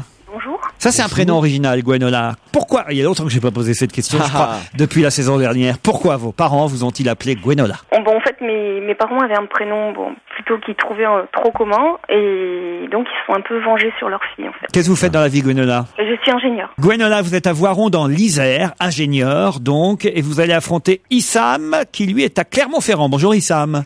Bonjour Laurent, bonjour à tous. Qu'est-ce que vous faites là-bas? Je suis en recherche d'emploi euh, dans le journalisme. Pôle emploi, journaliste, vous voulez être journaliste radio, télé, presse? Radio, parce que j'ai déjà une petite expérience en radio et que je souhaite euh, continuer. Où est-ce que vous avez travaillé à la radio? Sur quelle radio? Une radio euh, concurrente, euh, Nostalgie, pour ne pas la citer. Vous avez travaillé sur Nostalgie? C'est pas très concurrent. hein. Oh là là, ça va vous faire drôle parce que euh, là, vous avez Pierre Bénichou qui est un spécialiste des chansons qu'on programme sur votre ancienne radio, vous savez. Ah oui, c'est c'est Radio Cadavre. Ah, vous êtes parti en blague, bon c'est une blague, c'est une Merci pierre. beaucoup, monsieur l'Auvergnat. Oh, bah, je suis loin d'être auvergnat, je suis algérien. Ah non, mais vous êtes à Clermont-Ferrand quand même. Euh, euh, C'est-à-dire Auvergnat, comme dit, comme, comme dit monsieur Hortefeux. Ouais. Enfin, Issam est un prototype de Clermont-Ferrand. Issam, Voilà. Issam contre euh, Gwenola. Voici euh, la question, la deuxième question challenge du jour, avec un séjour de trois jours et trois nuits à l'Eliantal Saint-Jean-de-Luz pour passer une thalasso formidable. Saint-Jean-de-Luz, si vous préférez, mais j'aime bien dire Saint-Jean-de-Luz. www.eliantal.fr si vous voulez en savoir un peu plus sur euh, vos conditions de séjour dans cet hôtel Thalasso de Saint-Jean-de-Luz. Alors attention, la question n'est pas facile, facile, facile. Hein. Vous êtes prêts l'un et l'autre? Oui. Elles sont 6 au Havre, Ah, c'est 6 à La Rochelle, 11 à Nantes et 25 à Bordeaux. Je sais. De quoi s'agit-il? On leur laisse 5 secondes. Les électromobiles, Les quoi? Quoi? Les, les voitures électriques comme Ah, les Vélib. Non, non, non. 6 au Havre, 6 à La Rochelle, 11 à Nantes, 25 à Bordeaux. Et c'est un scandale. Alors là, là, ça sèche. Ah, on entend taper, ça tape, ça tape. Eh oui, Ils sont oui. 6 alors. Alors, Vous pouvez y pourquoi aller, c'est un alors. scandale Les éoliennes? Non. Eh bien, c'est donc euh, les des euh, les, des euh, anciens négriers qui les noms portent les rues des anciens euh, Les noms ouais. portent les rues. les, les les armateurs euh, qui euh, faisaient les euh, Les rues, les transports. Là-bas, il y a effectivement à Bordeaux 25 rues au Havre, 6 rues, 6 rues aussi à La Rochelle et 11 à Nantes qui portent des noms de négriers. Bonne réponse de Christophe Alévèque. C'est pas facile ça. Ah, c'était dur, hein, C'était pourtant. pas facile et c'était dans le journal du dimanche hier. mais alors voilà, ah, voilà. Vous avez passé votre dimanche à faire autre chose, euh, Ah bah, croyez-moi que j'ai potassé. Mais vous n'avez pas assez potassé. Il faut potasser assez pour connaître la réponse. Gwenola, alors, Gwenola? Oui, ça faisait pas partie des titres quand même. Ah bah des titres. euh, euh, vous pensez que je trouve euh, les questions Oui. dans les titres? Non, je trouve les questions dans les articles. Vous voyez, Euh, le titre effectivement, c'était quand même sur quasi une page entière dans le JDD. Bordeaux rattrapé par son passé négrier. Et puis même le titre en dessous, c'était des rues bordelaises portent les noms d'armateurs du XVIIIe siècle. Une association souhaite que ces noms de rues soient changés. La mairie s'y refuse. Et cette association qui proteste contre ces euh, qui portent le nom euh, de négrier, eh bien cette association manifestera aussi le 17 octobre à La Rochelle, à Nantes et au Havre. 419 navires ont transporté 13 000 et 15 000 esclaves africains vers les Antilles à cette époque, à la fin du XVIIIe siècle. Et effectivement, Bordeaux était le deuxième port négrier de France, derrière Nantes. Il y avait aussi La Rochelle. J'ignorais qu'il y avait le Havre. En tout cas, euh, voilà, des noms de rues qui euh, T'es portent... fier, hein Quoi T'es pas fier, hein Oh bah non mais au Havre ça va, il y a que euh, il y a- Ouais, y en a c'est que ça. six, il y a que six rues. par rapport à 25. Il y a eu beaucoup de bateaux. Par rapport à 25 à Bordeaux, vous voyez. Ah, euh, voilà, la rue David Gradis, euh, par exemple, nous citons la rue Sège euh, à Bordeaux. Bah, en tout cas, c'est perdu pour Issam et Gwenola. Ouais. Ah bah oui. Je vois là le, le, le, le spa et la thalasso de Euh, s'envole. Saint-Jean-de-Luz La thalasso dans le dos. Il me reste ma douche pour la thalasso. Il reste Non, votre douche. non, mais ra- rappelez-nous, essayez de prendre le prochain bateau. Gwenola, Issam, vous tenterez à nouveau votre chance en vous inscrivant sur ruquier.europe1.fr. 16h, 18h30 sur Europe 1 avec Laurent Ruquier. On va se gêner Et sur Europe 1, comme promis, jusqu'à 18h30, c'est Laurent Ruquier. Europe 1 La question insolite. Que Christine Bravo va mettre 20 minutes à comprendre. Bon, Christine, T'as ton petit jingle? Mont- montrez que les jingles euh, ont tort et, et donnez la bonne réponse à cette question qui va vous concerner directement. Franchement, qu'est-ce qui coûte 2 euros rue François 1er et 6 euros sur les Champs-Élysées? Un café? Pas un café. 6 euros le café? Une capote? Je sais Qu'est-ce- pas, j'en bois pas. qui coûte 2 euros rue François 1er, la rue de Repin, hein, vous voyez. Oui. Et, et- et qui coûte 6 euros sur les Champs-Élysées. Une parking. place de parking. Une place de parking. Ah, je Bonne réponse de Christine Bravo et Caroline Diamant. Une place de parking. Une heure, pas une place, une heure de parking. Une heure, c'est 6 euros 6 euros au parking Champs-Élysées Colisée, c'est le record euh, du tarif de parking, puisqu'il y a dis une donc. double page dans le Parisien aujourd'hui qui nous explique qu'en 5 ans, les tarifs des parkings souterrains dans la capitale ont bondi de 20%, alors qu'en plus, dans le même temps, évidemment, le nombre de places de stationnement en surface n'a cessé de diminuer. Bah, je peux vous dire que c'est faux. Quoi Que ça coûte plus que de 2 euros. Ah, rue François Rue 1er. François 1er, Ouais. moi, moi j'en ai pour quand je reste ici deux heures et demie, j'en ai pour 10 euros. Ah Ouais, ouais, c'est vrai. Je vous le dis. Mais il a raison parce que moi ça me coûte 8 euros quand je reste pas pour l'émission. Mais vous, ça y est, on sait maintenant pourquoi vous, c'est pour pas payer une heure de plus. C'est pour gratter de Arrive la à cheval. Non, c'est quand même Ah, assez fou les tarifs de C'est euh, dingue. ces parkings. Alors c'est pas comme ça, euh, heureusement, euh, en région. Hein, ça coûte euh, beaucoup moins cher euh, en, en province et ça coûte aussi beaucoup moins cher dans les autres capitales euh, européennes. Il y a Ah oui qu'à Paris où on atteint par exemple des, des 4 euros à Réaumur-Saint-Denis, euh, 4 euros l'heure de bah oui. parking, 3 euros 20 euh, à Saint-Sulpice. Bah, à Saint-Denis, tu restes rarement plus d'une heure normalement. mais, euh, 3 euros place Saint-Michel. Non mais c'est assez fou les tarifs. quand Même à Londres, c'est c'est moins cher. Le moins cher, c'est Porte d'Auteuil, 1,70€, euh, vous voyez. En plus, je vais te dire, c'est pas en coup de, de droit SACEM que, que ça va leur coûter de l'argent parce que les- la musique elle est toujours pourrie dans les parkings. hein. Non, mais je trouve, honnêtement, moi qui suis euh, trouillarde, je trouve en revanche qu'on se sent beaucoup plus en sécurité depuis quelques années. Ah bah oui, c'est propre, Bah oui, il y a du la- monde. Ouais, il y a du monde, c'est Il te prête un parapluie quand il pleut. T'oses Mais- plus pisser maintenant. Eh ben c'est vrai, ça sent moins l'urine qu'avant. Parce qu'il y a tellement de lumière et de caméras que vous avez les jetons. Oh non, si Ah tu ouais, es alors, derrière une arrête, grande voiture, tu peux. Quelle horreur. Non mais c'est voilà, ce sont les fameux parcs Vinci hein, d'ailleurs pour la Ouais. plupart euh, à Paris. Ce que j'ignorais, c'est que euh, la mairie de Paris euh, finalement euh, avait sa cote part, c'est-à-dire que euh, les parkings souterrains représentent un, vrai euh, business. Et autrefois, la mairie de Paris était généreuse avec ses concessionnaires, mais maintenant elle renégocie chaque contrat pour empocher une part de plus en plus importante des recettes. En effet, euh, les parcs souterrains rapportent 19 millions d'euros par an à la mairie de Paris. 6 Très euros la place 19 millions d'euros par an à la mairie de Paris, c'est énorme, c'est 12 milliards, c'est- c'est incroyable. ça. 12 milliards de quoi de sesterces. Ah oui, c'est ça. Ça fait combien en sous? Alors en écu. Pierre, mettez-vous à l'euro une bonne fois pour toutes. Ah non, mais voyez les pas. parkings de Lutèce coûtent cher. hein. Mais que ça veut dire quoi, 19 millions d'euros? Ça veut rien dire pour les gens. Oh, bah, Non. Les 12 milliards de, de francs, ça veut dire quoi pour un enfant de 8 ans? Mais je m'en fous des enfants de 8 ans, moi.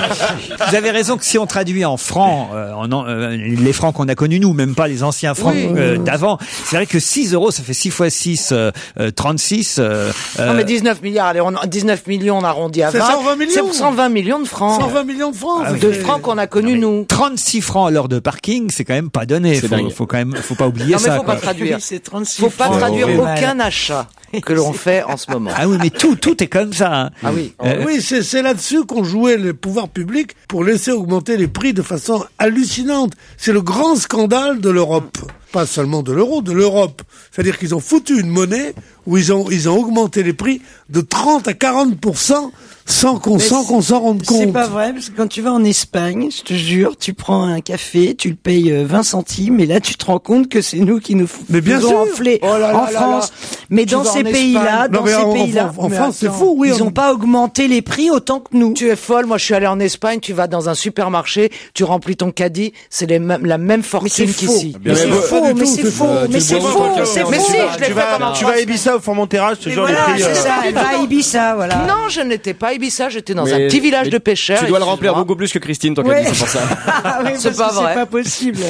Peut-être on devrait faire un truc hein, pour que ça revienne moins cher le parking, vu que quand même on est assez nombreux autour de cette table. On prendrait une seule voiture pour nous emmener tous le matin, et puis il y en a un qui euh, resterait à conduire euh, dans le Ah, quartier. oui. Ouais, avec un talkie-walkie. Et on se dirait- relayerait, vous voyez, au fur et à mesure. Si c'est Ti- si c'est Titoff qui vient nous chercher, il n'y a pas d'émission. là, hein. Vous savez, bien le faire, je veux attendez, bien le vous faire. savez que par exemple, est-ce que je peux dévoiler le plan euh, anti-grippe A que euh, madame, Ouais. ah, si si, faut que je vous donne le plan Ah anti-grippe ouais. A au cas où la grippe A Ouais. contaminerait la station. On serait chez nous. Ah non, alors voilà. serait chez toi. Alors, je vais vous dire, on m'a dévoilé ce qui se passerait, c'est que chacun serait chez soi.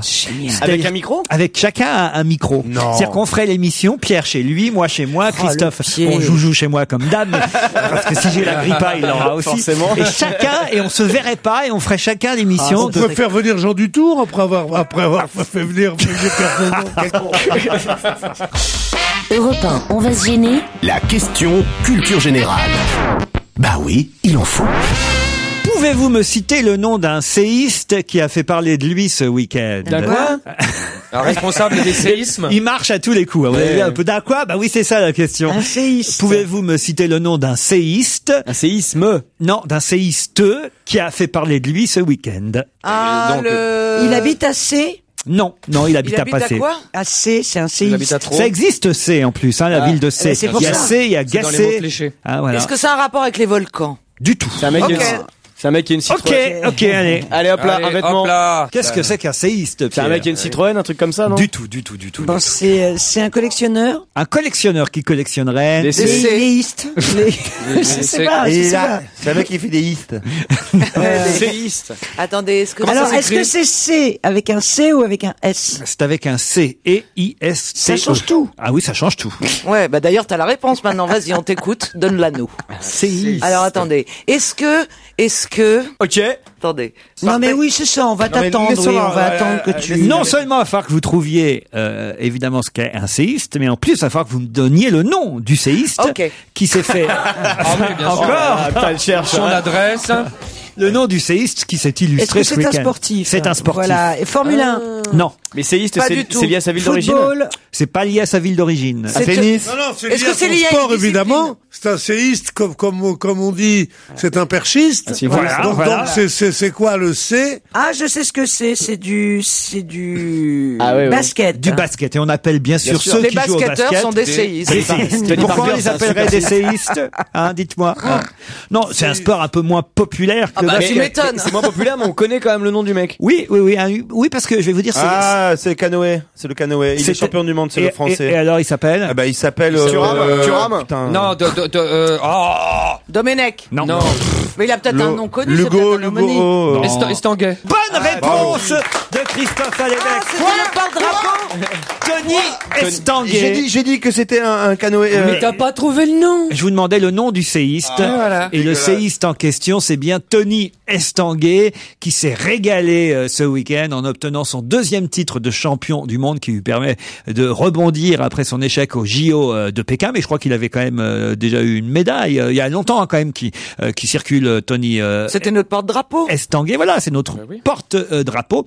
Alors, je vais vous expliquer quand même ce que Oui. c'est que séiste, parce que vous avez le canoë et le kayak, qui sont deux pratiques sportives Oui, c'est différent. similaires, mais euh, distinctes. Qu'est-ce qui diffère le canoë euh, du kayak C'est la pagaie et la position dans le bateau. Et le nombre de places. Mais c'est pas le même bateau aussi C'est alors c'est le même bateau, mais une pagaie simple et une position à genoux et vous êtes séiste. Ah. Une pagaie double et une position assise, vous êtes kayakiste. Ah le oui. kayakiste est assis, le séiste est à genoux. Bah c'est con parce que tu deviens plus célèbre en étant kayakiste que séiste. La preuve c'est que on savait pas ce que c'était. À vous, vous êtes plutôt séiste alors. Ouais, tu es plutôt à genoux, toi. Tout le monde y pensait, hein, c'est un petit peu dans le... D'autres questions après la pub. Vous êtes sur Europe 1, vous y êtes bien et c'est normal puisque nous sommes toujours avec Laurent Ruquier et son équipe aujourd'hui composée de Christophe Lévesque, Pierre Bénichou, Christine Bravo, Caroline Diamant, Jérémy Joujou, Michel Actitoff et maintenant qu'est-ce qu'on fait? Eh bien on joue avec la musique. Europe 1, on va se gêner. Do, ré, mi, fa, si. Do, ré, mi, fa, si. Liado. Bonjour Serge. Bonjour Laurent, salut à tous. J'ai un mail là qui va vous faire plaisir, c'est Maxime qui me dit mais où Serge trouve-t-il son inspiration? Je voulais vous envoyer ce petit message pour dire à quel point j'adore les chansons flash de Serge, elles m'ont beaucoup manqué pendant l'été et c'est avec beaucoup d'impatience que je les attends à la fin de chaque émission. Malheureusement, il faut avouer que celles-ci se font de plus en plus rares à mon grand regret. Heureusement, nous en avons une vendredi dernier, c'est vrai. Bon bah voilà, il faut être inspiré pour avoir une chanson flash hein, Serge. Ouais, il faut, il faut les préparer, il faut, il faut apprendre un peu de recul par rapport à l'actualité, mais je fais peut-être accélérer un petit peu la fréquence. Et puis en attendant, vous avez des chansons qui se ressemblent. Voilà, c'est intéressant. Vous allez voir. L'intérêt de ce montage, c'est de revenir sur une grande énigme qui interpelle encore les exégètes de la pop. Est-ce que les Maudits Blues auraient plagié Salvatore Adamo c'est Non, un- non, non, non, non, ne nous annonce pas des trucs comme ça. Je te sens torturé, Pierre. Et oui, alors je rappelle les faits. En 69, Salvador et Adamo a pondu une chanson mélancolique, ça s'appelait Pauvre Verlaine. Vous voyez déjà l'ambiance. L'année suivante, les Moody Blues chantent Melancholy Man, et ça tourne autour de la même mélodie. Et puis alors, pour couronner le tout, en 83, euh, Claude Barzotti, lui aussi un Italo-belge, compose une chanson qui s'appelle Elle me tue. La musique ressemble un peu aux Moody Blues, un peu à celle d'Adamo. Voilà. Alors ça nous donne un montage, vous voyez, un peu lancinant comme euh, comme un mal aux dents. Vous voyez, ça, ça, ça peut servir de support musical publicitaire pour le Prozac, au choix, ou bien une attente téléphonique pour les employés de France Télécom. Les trois d'un coup, Salvatore Adamo, les Maudits Blues et Claude Barzotti. Comme le fleuve amoureux de la mer, je sens couler mes étés, mes hivers vers toi. When all the stars are falling on the ground, and angry voices carry on the wind. Ça démarche à reculons, léopard caméléon. Elle me fait des courants d'air par-dessous mes pulls verts. Elle me tue. Es-tu dans le temps tu t'enlises et tu ne vis plus que dans l'écho de la brise parfois. His life caught up in misery. He does not think like you and me. Cause he can't see what you and I can see. Elle sait se. C'est pas marcher, c'est danser. Elle me veut dans son sillage. Comme un chien, comme un otage. Elle me dit. On peut se flinguer après ça. hein. Voilà, c'est ça. Franchement, Serge, Ça bien. T'as réussi. ça- On fait des bon, chansons qui se ressemblent. C'est Plus. là que le député UMP arrive. C'est tout pour aujourd'hui, Serge Oui, pour aujourd'hui, c'est tout. Eh ben, c'est pas plus mal. Allez, on se retrouve demain. Merci. Oh là là J'ai en photo une jeune femme euh, qui s'appelle Elisabetta a 32 ans et elle va faire bien des jalouses. Pour quelle raison Elisabetta Canalis va faire bien des jalouses? Bon, alors, elle a, elle a pas un 90 C? Non. Ah non, si elle fait affaire des jaloux, c'est qu'elle a dû épouser un quelqu'un qu'on rêverait de toucher. Oh, Épouser, non. Mais elle sort non, avec. mais elle sort avec. Elle sort avec. Ok, c'est Georges Clounet? Georges Clounet, Ouais, c'est voilà, la nouvelle il- fiancée de Georges oui, Clounet. écoutez, il change tout le temps. Bonne réponse. Il est arrivé avec elle au Festival de Venise à la Mostra, cette nouvelle fiancée ex-mannequin, présentatrice de télé italienne, même pas payée par Silvio Berlusconi, 32 ans et euh, peut-être fera-t-elle bientôt carrière à Hollywood, euh, se disent déjà. Oui, comme les précédentes. Elle va se retrouver à la, elle va, elle va- elle va finir à la ferme célébrité. non, à femme, Ah oui, c'est la comment elle s'appelait cette jeune femme qui était Elle s'appelait Céline Balitran. Céline Balitran, ah oui, vous vous souvenez, qui était serveuse et qui avait été fiancée Qui est redevenue prof. je de crois. Georges Clounet. Elle est quoi Elle est prof. Elle est Ouais, Elle est un stit Ouais, je aujourd'hui. crois, Ah bah Ouais, voilà. comme quoi. Ah, En tout cas, Georges George Clooney a une nouvelle euh, fiancée. On l'a vu arriver avec elle à l'avant-première de son nouveau film The Man Who Stare at Goats. Elisabetta Canalis. Ah. Non, non, mais il a le droit de faire des films autres qu'américains, attends. Ils sont connus où Alors ils se sont connus là-bas, en Italie, euh, parce que évidemment elle est présentatrice de télé italienne, donc j'imagine qu'elle l'a Et, Non, et- il a une maison là-bas, tu connais rien. Il a une maison En sur le Sardaigne lac de Caume. Ah oui, non. Ah oui, c'est vrai. Mais oui. Mais bien Comment vous sûr. savez ça, vous Mais Bien sûr. j'y- Attendez, j'y vais en week-end. le J'y vais en week-end. Mais tout le monde sait qu'il est un peu italien, y compris la communauté gay. Joujou, je dis ça pour vous parce que il y a un fan gay de George Clooney qui, Ah ouais. qui lui a fait une déclaration d'amour et qui lui a offert un striptease en pleine séquence. Qui a dit je suis homo, prends mon corps euh, pendant la en pleine de presse. conférence de presse, euh, voilà, euh, il avait une cravate pile à la bonne taille parce qu'il était tout nu avec une cravate qui cachait euh, son sexe et il a dit à George Clooney je t'aime, je t'aime. Enfin bon, euh, C'est dommage qu'il ait- Oui, oui, je vous jure, Pierre. Et ça a marché, et ça a marché, ça lui a plu à George Clooney ou Ah pas oui, il a fait what else Non, enfin c'est assez fou quand même. euh, et moi, ça, alors, je sais pas. Il continue à pas me plaire, George Non, Clooney. hein, franchement. Alors il a la bouche un peu fine. Ah, vous êtes Oui, d'accord j'avais découvert ça dans Batman, parce qu'il est très beau. Mais dans Batman, où tout à coup on lui cachait tout sauf la bouche, et quand elle est fine, c'est pas joli. et sur ce moment de grande culture générale, je dis OK. Qui a envie d'être à nouveau président en 2012 et risque de l'être jusqu'en 2024 Qui Il y a un piège là. a envie d'être président à nouveau en 2012 et risque de l'être en 2024 Président de quoi? Ah ben c'est D'une ça- fédération Ah, sportive. Non, non, pas d'une fédération sportive. C'est pas Une d'un association. C'est c'est assez facile quand même. Hein. Il suffit de bien écouter la question. Qui risque d'être à nouveau président en 2012 Michel et, Platini. et donc de l'être jusqu'en 2024 Donc c'est un mandat de 12 ans. C'est pas un mandat de 12 ans. Bah s'il est euh, président jusqu'en 2012. Ah ouais, d'accord, il peut y en avoir plusieurs. Donc Ça deux- peut être 2 de deux 6 ou 3 de 4. 3 de 4. C'est ça. Ou 4 de 3. Mais oui, mais alors pourquoi il le serait dans la 12 de un. foulée. Pourquoi il serait réélu à chaque fois? Bah, parce que ça se passe comme ça. Ah, Chez ces gens-là Ah, ça se passe comme ça dans des dictatures. Ou- Enfin, le mot est peut-être un peu fort. C'est en Afrique, En Algérie Afrique C'est pas en Afrique. Non, non, non, non, non. En Amérique Qui- du Écoutez Sud bien la question. Qui peut être à nouveau président en 2012 et risque donc de l'être jusqu'en 2024 Mais il va être content de l'être ou pas? Ah bah oui, ça, on n'est Parce pas, que dans Castro- votre question, Castro on a l'impression que ça le fait un peu on chier. n'est pas président à son insu. Hein, c'est très rare. C'est Fidel, non? Fidel Castro? Non, pas Fidel Il est Castro. vieux. En France? Il est déjà plus président, mais il pourrait le redevenir. On Vous avez jamais, raison. ouais. Mais c'est justement ça. C'est le à nouveau. C'est Poutine. Ah, Poutine. Vladimir Poutine. Bonne réponse de Pierre Bénichou. Trois secondes avant Jérémy Michalak. Vladimir Poutine, qui a 57 ans le mois prochain et qui a fait entendre à quelques journalistes ce week-end qu'il serait sûrement candidat en 2012, puisque ça y est, il a, il a laissé passer un mandat et la Constitution lui permettra de se présenter deux fois de suite euh, à nouveau et il risquerait alors d'être président jusqu'en 2024. Là, il est un peu par procuration avec euh, Medvedev. euh, Dmitri Medvedev, mais il y a un peu d'eau dans le gaz euh, ukrainien. Ouais. Euh, il faut dire parce que euh, Poutine manifestement et lui s'entendent pas super bien et, et- et- et on a quand même l'impression que c'est Poutine qui tient. C'est c'est plutôt Medvedev qui, qui, qui commence à faire des, des, des incursions dans le domaine réservé de Poutine. Il va pas tarder à bouffer un sushi au polonium, celui-là. Ah, Medvedev. Medvedev. Ah oui, il faut que je méfie, hein. C'est vrai que Il y ça, a j'aime- maquis, va euh, changer de russe qui arrive ou quoi, il faut mieux qu'il fasse gaffe. le sushi au polonium. J'avais oublié, faut se méfier de ce genre de truc. Ah oui. C'est pourquoi ça s'appelait le polonium. Que c'est Marie Curie qui avait découvert cette substance radioactive et que pour lui faire après son prix Nobel, pour lui faire plaisir, on a appelé cette substance le polonium parce qu'elle était d'origine polonaise. Eh ben oui. Alors je savais que c'était une grande découverte de physique et de chimie, mais je ne savais pas que c'était. pourquoi le, pourquoi le polonium, pourquoi ils ont appelé ça Bon, le écoutez, polonium alors, t'es- si- s'il y a que la bite des gorilles qui vous intéresse, t'as qu'à le dire. Alors là, on fait vraiment pas la même émission.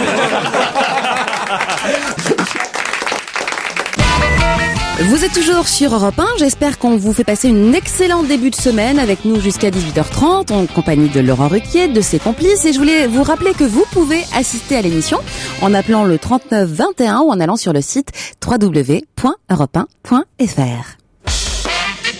Europe 1, on va se gêner?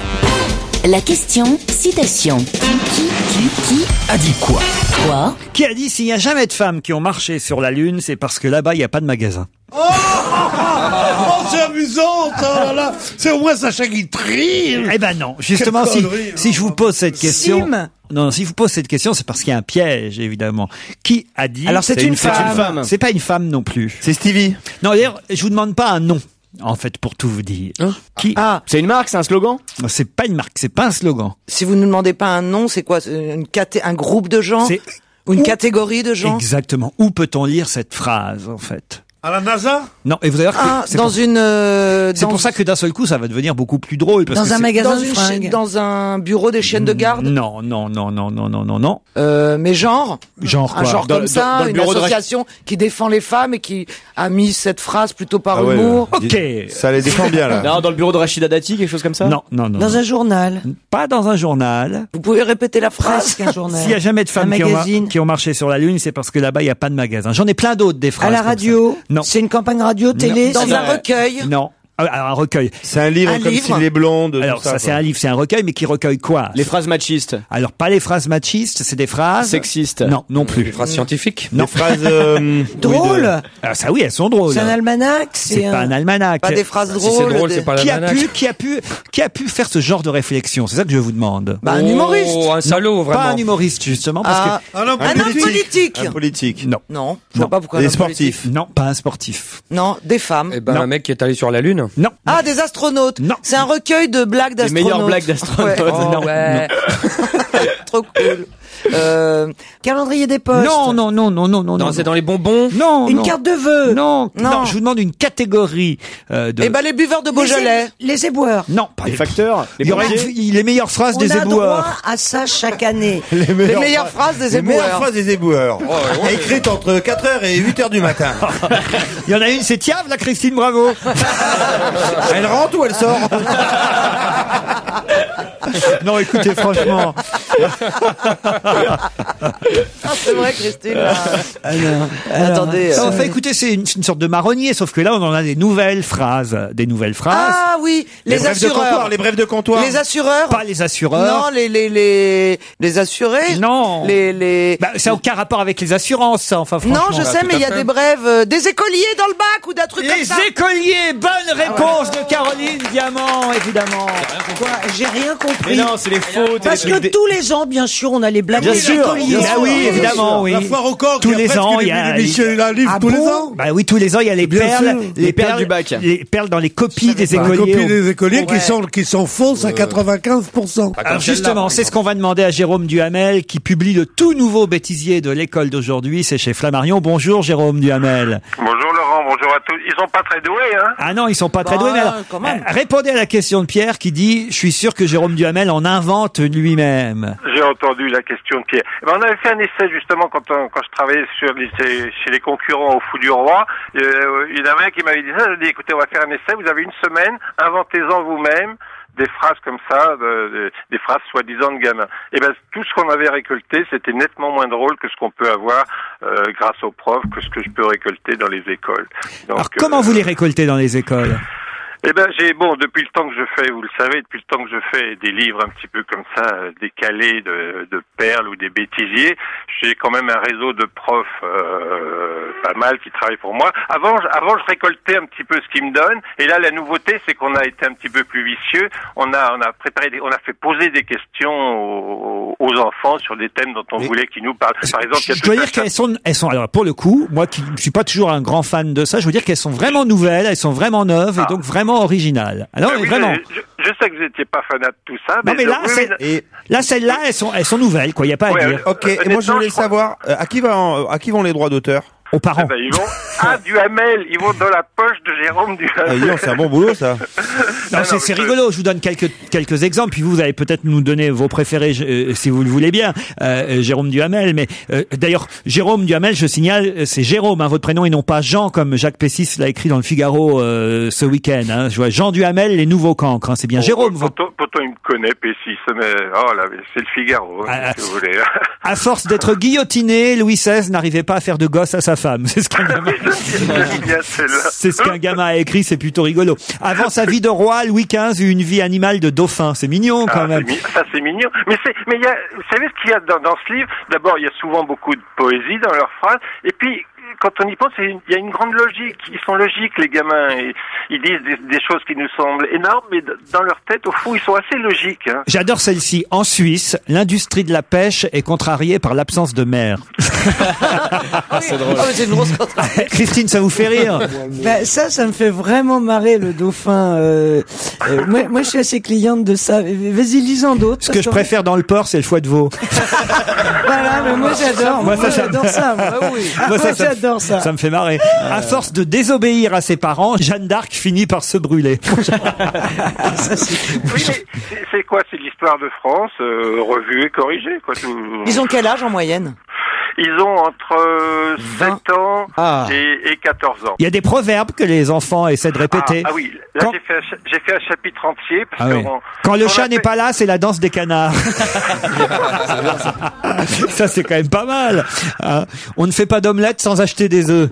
Ça, c'est très bon, ça. Ça, c'est très, très bon. C'est une logique, c'est- ils nous apprennent la logique, les gamins. hein. Tous les goûts va dans la nature. Pas mal. Pas mal. C'est beau ça. Et on a, on a même fait, parce que je me suis rendu compte que les enfants, ils parlaient beaucoup, ils avaient été marqués euh, par le film Bienvenue chez les Ch'tis, et on leur a posé des questions sur, sur, sur le Nord-Pas-de-Calais, sur le film, etc. Et c'est fantastique, il y a un gamin qui, qui, qui nous a écrit, euh, avant d'aller dans le Nord, qu'Anne Mérad habitait dans un salon à Provence. Ah oui, oui. Ils retiennent évidemment mal les infos oui. qu'on leur donne. Mais oui, et d'un autre côté, ça reste d'une grande logique. Le salon, Provence. euh, Sur la religion, c'est pas mal aussi. Jésus respectait beaucoup sa maman. C'est pas lui qui aurait écrit des chansons comme Nick ta mère. C'est pas vrai. Ah, si, si. Mais, mais, mais Ça, ça, ça peut pas être inventé, ça, par exemple. Ça, le c'est truc, c'est que quand vous êtes un stit, moi qui étais un stit, c'était Ben tous oui. les, c'est tous les jours. C'est-à-dire, vous, vous pouvez, les- effectivement, c'est les, les instits devraient faire ça. Ouais, mais le problème, c'est- le problème, c'est que c'était toi qui les sortais, quoi. Non, et j'ai- moi j'en ai- j'avais un mot un jour qui m'avait, oh, je parlais des années bissextiles, ils, ils avaient appelé ça la- une année buissonnière. Et c'est Ah, mais oui, exactement ça. Tous les quatre ans, il y a une année Mais buissonnière. oui, mais c'est. Mais, mais, mais, il y a beaucoup, mais Christine, il y a beaucoup de profs qui, qui, qui le font, hein, Dieu merci pour moi. euh, il y a beaucoup Et qui vous les envoie? Ils sont cons. Il faut les garder pour eux. ah ben oui, ben bon. Pour que la France gagne au basket, va bien falloir qu'ils se décident un jour à mettre les paniers un peu plus bas. Ça, ça fait des années que je le dis, ça. Ah oui, ça, alors celle-là, je suis pas. Ah, Brigitte Bardot, elle a été belle que quand le cinéma était en noir et blanc. Quand il y a eu la couleur, on s'est aperçu qu'en fait, elle était vieille et moche. C'est affreux. Dans Manon des Sources, Emmanuel Béard préfère faire l'amour avec des chèvres qu'avec Daniel Auteuil. Michel Blanc a connu sa gloire d'acteur quand il s'est mis des algues dans le slip. Ah oui, c'est- c'est- là, c'est- j'avoue, c'est une de mes préférées. Dans Peau d'âne, c'est Catherine Deneuve qui fait l'âne. Oui, ça, c'est- Il y a encore grande logique, grande logique. Ah non, moi je les aime bien. Écoutez, on va pas toutes les lire, c'est chez Flammarion. Franchement, elles ont le mérite d'être inédites. Ce sont des perles du primaire et du secondaire. Bienvenue chez les cancres, c'est le titre de votre livre, Jérôme Duhamel. Je n'aurai qu'un seul mot. Ça permet de bien rire, de bien rigoler. Je sais que euh, généralement les, les, les auteurs, aiment- enfin les auteurs ou les récolteurs de perles n'aiment pas ça quand, quand je dis ça, mais pour moi c'est le genre de bouquin parfait dans les toilettes. Non mais c'est vrai. Ah, mais euh, je suis tout à fait d'accord. C'est le livre parfait, on peut le feuilleter, on le reprend. Il n'y a pas d'histoire, on n'a pas besoin d'attendre la fin pour connaître. On peut le lire ailleurs que dans les toilettes. L'expression de lire dans les toilettes? Combien de temps vous restez dans les toilettes Eh oui, bah justement. Grâce à Jérôme Duhamel, plus longtemps. Moi, j'ai pas le temps de lire. Je me pauvre, c'est fini. Après ça, je... Puis je préfère que ce soit lui qui lâche une perle que Il moi. les toilettes. tu vas chez des gens, tu vas pisser chez des gens, tu vois qu'ils ont plein de bouquins et tout. Ah bah, tu restes. Ils passent leur vie, là. Ils ont un cendrier, des choses comme ça. Oh non. Quelle horreur! Parfois même du papier toilette. Ah. Merci en tout cas Jérôme Duhamel. On se retrouve dans un instant avec Paul Vermus et les résultats du challenge. On va se gêner sur Europe Laurent Ruquier. Et comme nous l'a promis Laurent Ruquier, on retrouve toute son équipe, Christophe Alévèque, Pierre Bénichou, Christine Bravo, Caroline Diamant, Jérémy Michalak, Titoff et notre ami Polo pour la suite de son enquête. Une info, une enquête, un défi. C'est le challenge Vermus. Alors Paul, est-ce que vous avez trouvé les informations que je vous ai demandées sur les trois même quatre euh, sujets évoqués en tout début d'émission? D'abord, qui a vraiment sifflé Frédéric Mitterrand et aussi Eric Woerth d'ailleurs, parce que euh, le ministre du budget lui aussi a été conspué euh, à la fête de l'humanité euh, ce week-end, mais il semble quand même qu'il y avait un comité d'accueil organisé spécialement pour le ministre de la Culture. Oui, enfin, euh, ce qu'il faut savoir, c'est qu'officiellement, euh, les organisateurs de la fête de l'UMA, Ma- Marie-Georges Buffel, directeur du journal L'UMA, ont invité officiellement Frédéric euh, Mitterrand et Woerth il y a déjà huit jours. Alors ils arrivent normalement, tout aurait dû se passer convenablement. Parce que Laurent, moi-même, moi-même, j'ai fait des débats avec euh, Xavier Bertrand euh, et avec Gérard Larcher à la fête de l'UMA. Ni Xavier Bertrand en ma présence, ni Gérard Larcher en ma présence n'avaient été sifflés. Donc il s'est passé quelque chose. À mon avis, et d'après les informations que j'ai eues, on soupçonne d'une part euh, les militants euh, du NPA d'Olivier Besancenot. Ouais, ça, ça a été dit ce week-end déjà. oui, mais on mis, oui, mais aussi les militants de lutte ouvrière qui sont beaucoup plus discrets. D'autre part, il y a des militants de base totalement incontrôlés parce que la fête de l'UMA, euh, durant la fête de l'UMA, non seulement on on mange beaucoup de frites, mais on postronne, on biberonne, euh, et l'alcool euh, souvent euh, crée des situations incontrôlables. Et comme dans n'importe quelle manifestation, Ça, c'est une la- info, ça. hein. Attendez, au lieu de Paul Vermut se fout de notre gueule. Non, sais. je me fous pas de Non, Paul, gueule. tu as bu. Et, et comme dans n'importe quelle manifestation incontrôlable, quand il y a plus de 100 000 participants, et à la fête de l'UMA, c'est 500 000 participants. Ça échappe à tout contrôle. Exactement. Tu as il fait la police.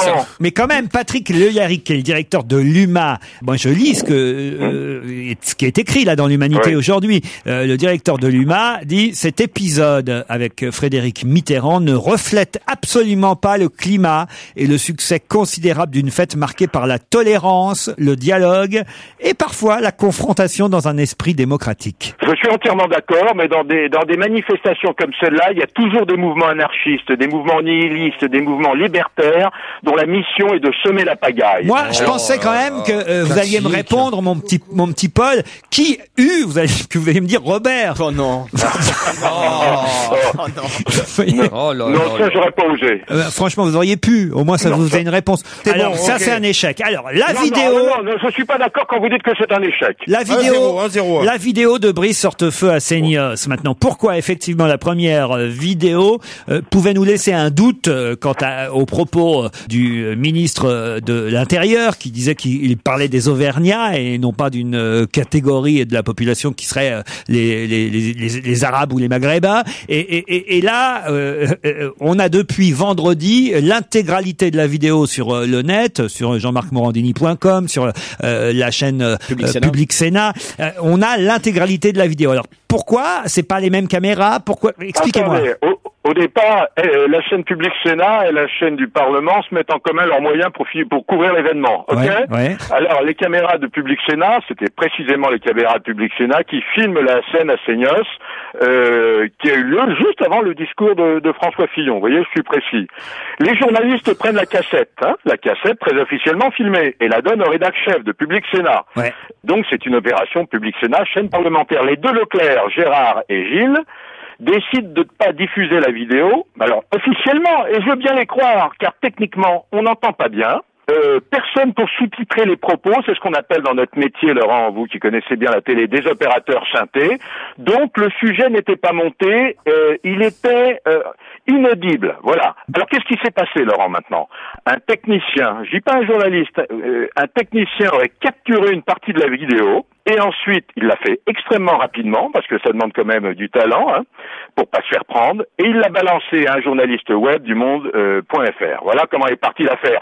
Quand Public Sénat et, et- et la chaîne parlementaire ont vu l'ampleur du buzz, ça devenait terrible. Donc, ils ont diffusé euh, vendredi dans son intégralité à 18h toute la séquence qui a eu le temps d'être euh, sous-titrée. Donc, elle, elle était techniquement totalement diffusable. Voilà ce qui s'est passé. Alors, il y a quand même, euh, bon, Alors les, euh, les journalistes sont pas contents. La société C'est-à-dire qu'en fait, la différence entre les deux vidéos, c'est que sur la, la deuxième, on, on, on a la phrase prononcée par la dame, qui se trouve à côté de Brice Hortefeux, à qui euh, Brice Hortefeux répond? C'est à, c'est à elle qu'il répond cette fameuse euh, phrase euh, quand il y en a un, ça va. euh, Quand il y en a plusieurs, bonjour les dégâts, en quelque sorte. hein. Euh, et et- et c'est à elle qu'il répond, et on n'avait pas la phrase de cette dame jusqu'à maintenant. Maintenant, on l'a, et donc il n'y a plus aucun doute, Eh oui. évidemment. Alors bon, cette dame, c'est une militante des Landes. Ah. Elle est UMP. Elle n'est pas une élue. Et c'est un peu à cause d'elle, parce que quand on écoute bien ses propos, euh, c'est difficile d'accuser le ministre de propos racistes. euh. Alors quand on écoute les propos de la militante des Landes, euh, militante UMP, euh, ses propos paraissent beaucoup plus racistes. Euh, et et- et c'est de ses propos à elle euh, qu'a été créée toute cette polémique et tout ce buzz gigantesque qui a fait un million, vous vous rendez compte, un million de personnes ont été sur le net pour voir ça. C'est beaucoup plus responsable que Brice Hortefeux, parce que Brice Hortefeux était entouré, je les ai comptés, de 14 personnes.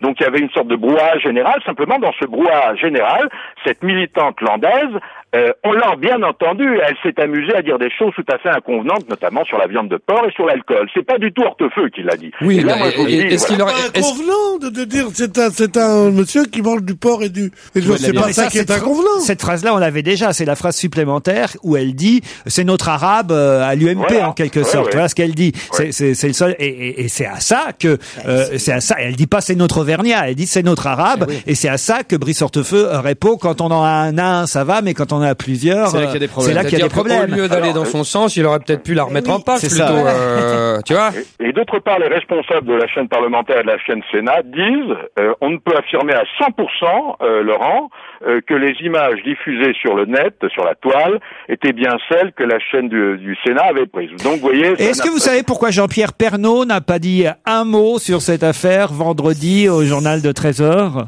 Probablement parce qu'il avait un journal très riche et que cette information, lui, sem- et que cette, information semblait lui semblait minoritaire. Il avait les producteurs de lait, tout ça. Voilà, sans importance. Bon, vous savez, l'information, ça va très vite. Peut-être qu'il voulait vérifier aussi avant de diffuser. Voilà, bon. Un mot maintenant sur les mémoires du président euh, Chirac qui devaient sortir début octobre et qui sont reculées, retardées, reportées d'un mois. Donc, normalement, ça devait sortir le 19 octobre chez Niels Éditions que dirige euh, Nicole Lattès. Alors moi je euh, savoir, hein, c'était le but de l'enquête euh, du jour, savoir quelle était la raison exacte. Et D'après le journal Le Parisien, c'est parce que la photo de couverture montrait euh, le président, l'ex-président, avec une cigarette au bec.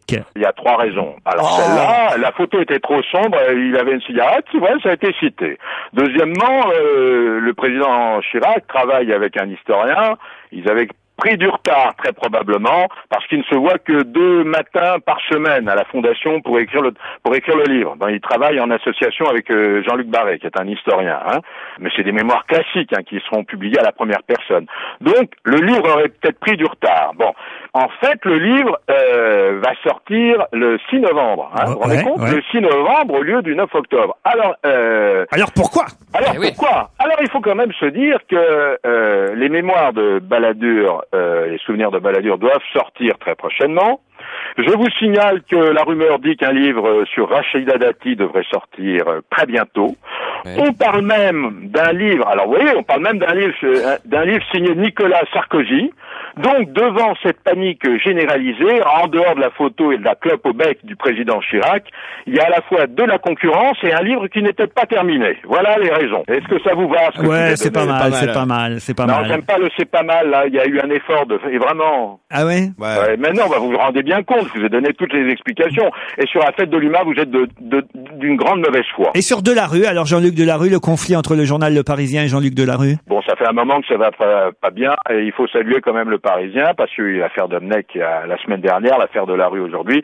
Ils fondent beaucoup. et Éric Bureau et Renaud Saint-Cric euh, avaient rendez-vous vendredi avec euh, Jean-Luc Delarue. Hein. Ils avaient rendez-vous vendredi. Et comme c'est souvent le cas au dernier moment, Jean-Luc Delarue, il y a différentes euh, théories hein, sur cette affaire. Euh, Jean-Luc Delarue a décommandé au dernier moment. Pourquoi a-t-il décommandé? Euh, Vous savez pourquoi il a décommandé? Bah non, je vous Pourquoi- demande. Pourquoi il a décommandé? Parce qu'il était à la fête de l'humain. Soi-disant, ça me paraît. euh, Il il, a la a, grippe. il- bon, il, est- il a un procès euh, au prud'homme avec son ancienne directrice générale, qui est restée quand même dans son entreprise pendant 4-5 ans. Et euh, il voulait en aucun cas aborder euh, ce sujet tant que la justice n'avait pas terminé euh, son enquête.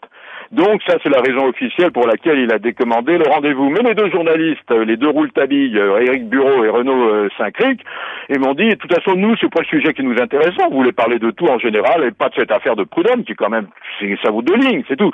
Donc, euh, alors, je vous signale que, de toute façon, aujourd'hui, si vous regardez un peu la radio, la télévision, etc. euh, Jean-Luc Delarue a l'habitude de répondre. Il, il ne va jamais aux interviews, sauf chez ses amis. Dès qu'il ne connaît pas la personne, il y va pas. Donc voilà. Mais c'est c'est pas la première fois qu'il décommande une interview. Hein, c'est dans ses habitudes. Euh, voilà. il- Alors bon, il crée là aussi à sa façon une forme de buzz. Hein, C'est-à-dire que ça, ça devient une affaire incroyable. Bon, Est-ce pas- que, est-ce que c'est vrai On parle d'une association euh, Domenech euh, de la rue euh, de défense et de victimes du Parisien? Écoutez, ça me paraît, hein, ce que vous dites là est un peu absurde, mais dans le fond, je vous dirais pourquoi pas. Merci Paul. Là, vous avez pas mal bossé quand même. Ah. Alors d'autres challenges dans la semaine et on se retrouve avec notre invité d'honneur caché déjà dans la loge d'honneur après les titres de 18h.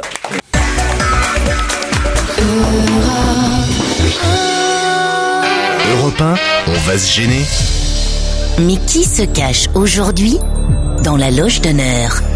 Ah ah, qui se cache dans la loge d'honneur? Je sais que les auditeurs, chaque jour, tentent eux aussi de trouver assez vite quel est notre invité euh, d'honneur. Vous pouvez évidemment poser des questions auxquelles l'invité répondra par oui ou par non, ou par des phrases un peu plus longues avec une voix déformée, évidemment. Est-ce que vous m'entendez, cher invité d'honneur? Bonjour. Bonjour. Oh là. Manifestement, vous m'entendez bien. Très bien. Est-ce que dans la vie vous parlez comme ça? Ça m'arrive quand je joue les rôles de sorcière. Ah, donc c'est une femme. Ouais, tu parles. Pour les rôles de Merlin l'Enchanteur. Est-ce que vous êtes une femme demande Caroline Diamant. Ça dépend des jours. C'est une femme. Allez, Ah oui, parce que ça va nous donner. Ah oui, parce que sinon, oui. Ça va nous brouiller Alors, les pistes. C'est une femme, c'est une femme qui joue. Oh, je suis aussi très sérieuse parfois. Oui, mais elle joue. Vous jouez, vous jouez la comédie. Vous êtes joueuse? Je suis très joueuse de tennis. Mais aussi, je nage beaucoup. Ok, c'est Brigitte Fontaine. Ouais, c'est Brigitte. Fontaine. C'est Brigitte Fontaine. Ah ouais. Euh, vous êtes comédienne? Euh, pas seulement, je fais aussi des montages de textes. Oh, n'en dites pas trop là là, Oui, mais oui. elle est comédienne. Elle est blonde ou elle est, elle est brune, notre invitée? Eh ben, tu demandes. Est-ce, que vous êtes blonde Est-ce que vous êtes brune? Haut, je suis blonde, au milieu, je suis brune. Ah, ça c'est les racines, comme C'est- Christine. C'est quand même c'est très con. Une comédienne, ça peut être blond, ça peut être brune. Bah ouais, c'est très con comme question. Ah, mais t'as raison, Christine, de, préciser. En tout cas, c'est une comédienne mince puisqu'elle fait beaucoup de danse, de natation, beaucoup de Je veux sport. pas parler de danse, mais j'en fais effectivement. D'accord. Ok. Est-ce que vous Euh, avez un certain âge ou un âge certain? Ça aussi, ça dépend des jours. Ok. Bah, alors, C'est vous pas une question qu'on pose à une dame, de toute façon, même mais c'est quand elle est... Je ne suis pas C'est une pour ça que j'ai pris des dame, gants. je suis une demoiselle. êtes- Donc c'est une vieille. Est-ce Et que comment se fait-il que personne n'ait voulu de vous En fait, euh, les comédiennes, on les appelle mademoiselle toute leur vie. Exactement, on appelle Oui, je sais. les comédiennes C'est pour ça que je mademoiselle. dis je suis une demoiselle. vous êtes plus au théâtre ou au cinéma? J'ai tout fait dans ma vie, euh, sauf euh, voler et tuer. Alors je vais vous dire, euh, pour répondre à la question à la place de notre invité d'honneur, notre invité d'honneur a une très jolie filmographie et très présente sur les planches aussi. Est-ce qu'on peut C'est le seul indice là que vous nous donnez? Ah, vous voulez un indice Oui, un supplémentaire petit indice. écoutez, Qu'est-ce que je peux vous donner Là, comme on euh, s'échouille. indice supplémentaire Euh, Oh, attention, Laurent, hein je, vais, je vais faire très attention. Je vais vous donner euh, cet indice. Notre invité d'honneur a été présenté à la reine Elisabeth. Notre invité d'honneur a été présenté à la reine Oh, bah, c'est Elisabeth. facile. C'est une princesse. Êtes-vous une princesse Je suis une princesse de fiction. Une princesse de fiction, mais qui a été présentée en vrai à la reine Elisabeth. C'est pas Clotilde, Courreau. Est-ce que vous êtes Clotilde Courreau Oh, mais Clotilde est beaucoup trop jeune pour avoir connu la reine Elisabeth. Putain, mais elle est folle. Attends, Est-ce que vous êtes aussi humoriste en plus de comédienne? Oh non, mais je suis très fan des humoristes, surtout ceux qui sont là aujourd'hui. Lesquels? Lesquels? Je vous connais. Je sais qui vous êtes. Ah, ah. Vous êtes Marianne Chazelle. Vous savez tout, de toute façon. Êtes-vous Marianne Chazelle? Non, je suis pas Marianne Chazelle, pas du tout, pas alors- du tout. Alors je vais vous donner un indice Ah, supplémentaire. Vous connaissez, vous connaissez aussi notre invité d'honneur sous le nom de Françoise Béreton. Françoise Béreton. Brigitte Fosset. Bonne réponse de Caroline Diamant. Alors là. Alors là, Béreton alors là, Eh bravo. ben oui, c'est la femme de, de Béreton dans la boum. C'est la mère de Vic. La mère de. Il y a que vous pour, il y a que vous pour vous rappeler du nom de la maman de Sophie Marceau dans la boum. Voici Brigitte Fosset. Actuellement l'affiche de la nuit de l'audience au Petit Montparnasse avec Frédéric Tirmont. Brigitte euh, Fosset joue dans cette pièce de Jean-Claude Idé et Jean Descartes, pièce mise en scène par Patrice Kerbra. Elle y joue au théâtre Petit Montparnasse à partir du 17 septembre. Bonjour Brigitte. Bonjour Laurent, je joue avec euh, Frédéric Tirmont, Christine Guerdon, Jean-Yves Chilot, et voilà, et je suis très contente, c'est des, des, des formidables partenaires. Vous auriez pu, au lieu de l'embrasser goulûment, gifler votre ex-partenaire de scène, Pierre Bénichou, qui vous a même pas reconnu. Son mari Son mari Oui. Franchement, quand même. Bon, Enfin, j'ai un peu corsé les choses parce que je me suis amusée dans cette voix déformée à parler comme ça. Alors ça faisait un peu, ça chargeait un peu quand même là-bas. Brigitte Fosset, notre invitée d'honneur à l'affiche du Petit Montparnasse. Et dans un instant, on reparle tous ensemble. Bravo, en tout cas, Caroline Diamant, vous êtes rappelée du Ah nom de la maman de Sophie Marceau dans la boum. À tout de suite. Jusqu'à 18h30 sur Europe 1, c'est On va gêner. On retrouve Laurent Requier, son équipe et l'invité dans la loge d'honneur. Brigitte Fosset, notre invitée, puisqu'elle est au théâtre à partir du 17 septembre au Petit Montparnasse dans la nuit de l'audience. On parlera évidemment de cette pièce et vous nous raconterez un peu ce qui se passe pendant euh, cette nuit où vous vous affrontez manifestement avec euh, Frédéric euh, Tirmont, autre comédienne avec qui vous partagez l'affiche. Mais quand même, j'aimerais revenir sur quelques indices que j'ai donnés. Bon alors, Françoise Béreton, bravo, fallait le faire. Effectivement, c'était le nom de Brigitte dans la boum. J'ai dit que vous aviez été présentée à la reine Elisabeth II. Ça, c'est vrai, Brigitte. C'était à l'époque des Jeux interdits. C'était avec Gérard Philippe parce que euh, René Clair présentait Les Belles de Nuit et René Clément présentait Jeux Interdits. Et moi, j'ai rencontré la reine d'Angleterre et franchement, je l'avais vue euh, dans les journaux euh, en noir et blanc. Il n'y avait pas tellement de photos couleurs et j'avais l'impression de rentrer dans le conte de fées. Et en vrai, elle en noir et blanc aussi ou euh, Vous aviez quoi, 5-6 ans à l'époque alors J'avais 5 ans et demi. 5 six ans et demi. Je me rappelle pas. Je rentre, je me souviens de tout. Je rentrais dans le conte de fées. C'est-à-dire, j'avais l'impression de traverser le miroir. Et il faut dire qu'à l'époque, elle était d'une beauté. Elle avait un teint translucide complètement irréel. Et j'étais en admiration. Et je voulais la suivre. Le protocole m'a rattrapé par les jupes. Je dis, mais je veux que tu suives, la, la suive. Elle m'a dit, non, non, tu peux pas, tu peux pas. Et on m'a tiré par derrière. J'étais folle de rage. Je leur ai échappé. J'ai monté l'escalier. Je suis allée vers elle. Et elle m'a parlé très gentiment. Alors j'avais des indices sonores, hélas on n'a pas pu en profiter pour euh, aider évidemment mes amis chroniqueurs à oui. identifier. Écoutez ça plutôt par exemple. Il y a longtemps, un film en noir et blanc dessiné Il a très bien Mais là, fait. c'était cuit, là. Il me l'a offert à Ramatuel. enfant et ses larmes coulaient sur son air préféré. Une musique si jolie, celle des jeux interdits.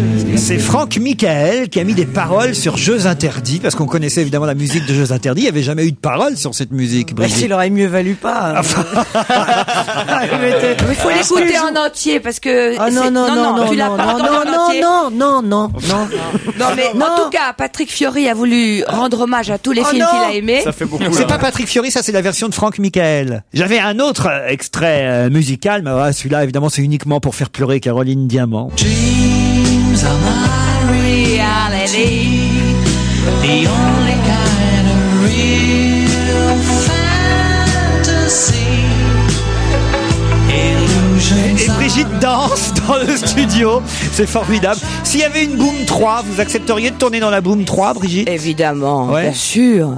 Surtout que maintenant, j'ai beaucoup de trois à faire hein, à Est-ce mon que- âge. est-ce hein. que vous- Je peux faire les châteaux des Oliviers 3, je peux faire... euh, Est-ce que vous auriez euh, accepté de jouer la maman, puisque c'est Françoise Fabian qui joue ce rôle, la maman de Sophie Marceau dans LOL, le film qui a eu un énorme succès ces derniers mois? Bon, on me l'a pas proposé, mais bien sûr que j'aurais accepté. Mais pourquoi ils ont pas pensé Eh que ça aurait été génial Mais je trouve que Françoise Fabian, c'est mieux. non, non, c'est mieux parce que elle, elle, elle est brune, elle, est, elle a plus de caractère, elle est, elle est plus sensuelle Mais que quand même, ça aurait été rigolo comme clin d'œil. sincèrement, non, pas par rapport à vous, mais juste par rapport au fait que elle faisait un clin d'œil à la boum, que là, on n'aurait pas pu se détacher du tout de la boum. non, non, non, c'était effectivement Voilà. la Boom 3. Il a été question Ah oui. de la faire à un moment Mais donné. vous êtes toujours marié avec Claude Brasseur ou c'est fini Mais je l'aime toujours beaucoup. Je l'ai rencontré au Festival de Ramatuel cet été. Il était absolument génial dans le Sacha Guitry avec son fils. Alors, troisième extrait musical, et d'ailleurs vous venez de l'évoquer que j'aurais pu passer, c'est celui-ci.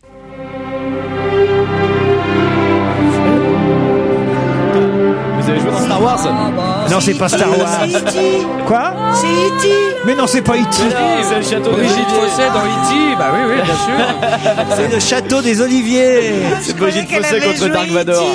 Pourquoi on vous voit moins dans les séries télé qu'avant, euh, Brigitte? Parce que c'est vrai qu'à une époque, c'était Brigitte Fossé, un peu comme Bernard Lecoq. Paf, une série télé, Brigitte Fossé. J'aime beaucoup, j'aime beaucoup Bernard Lecoq, mais je n'ai fait que trois séries télé dans Ah bah, ma elles vie. nous ont marqué alors. J'ai fait Les gens de Mogador, Le Château des Oliviers, L'affaire Caillot, un et un six avec Pierre Arditi.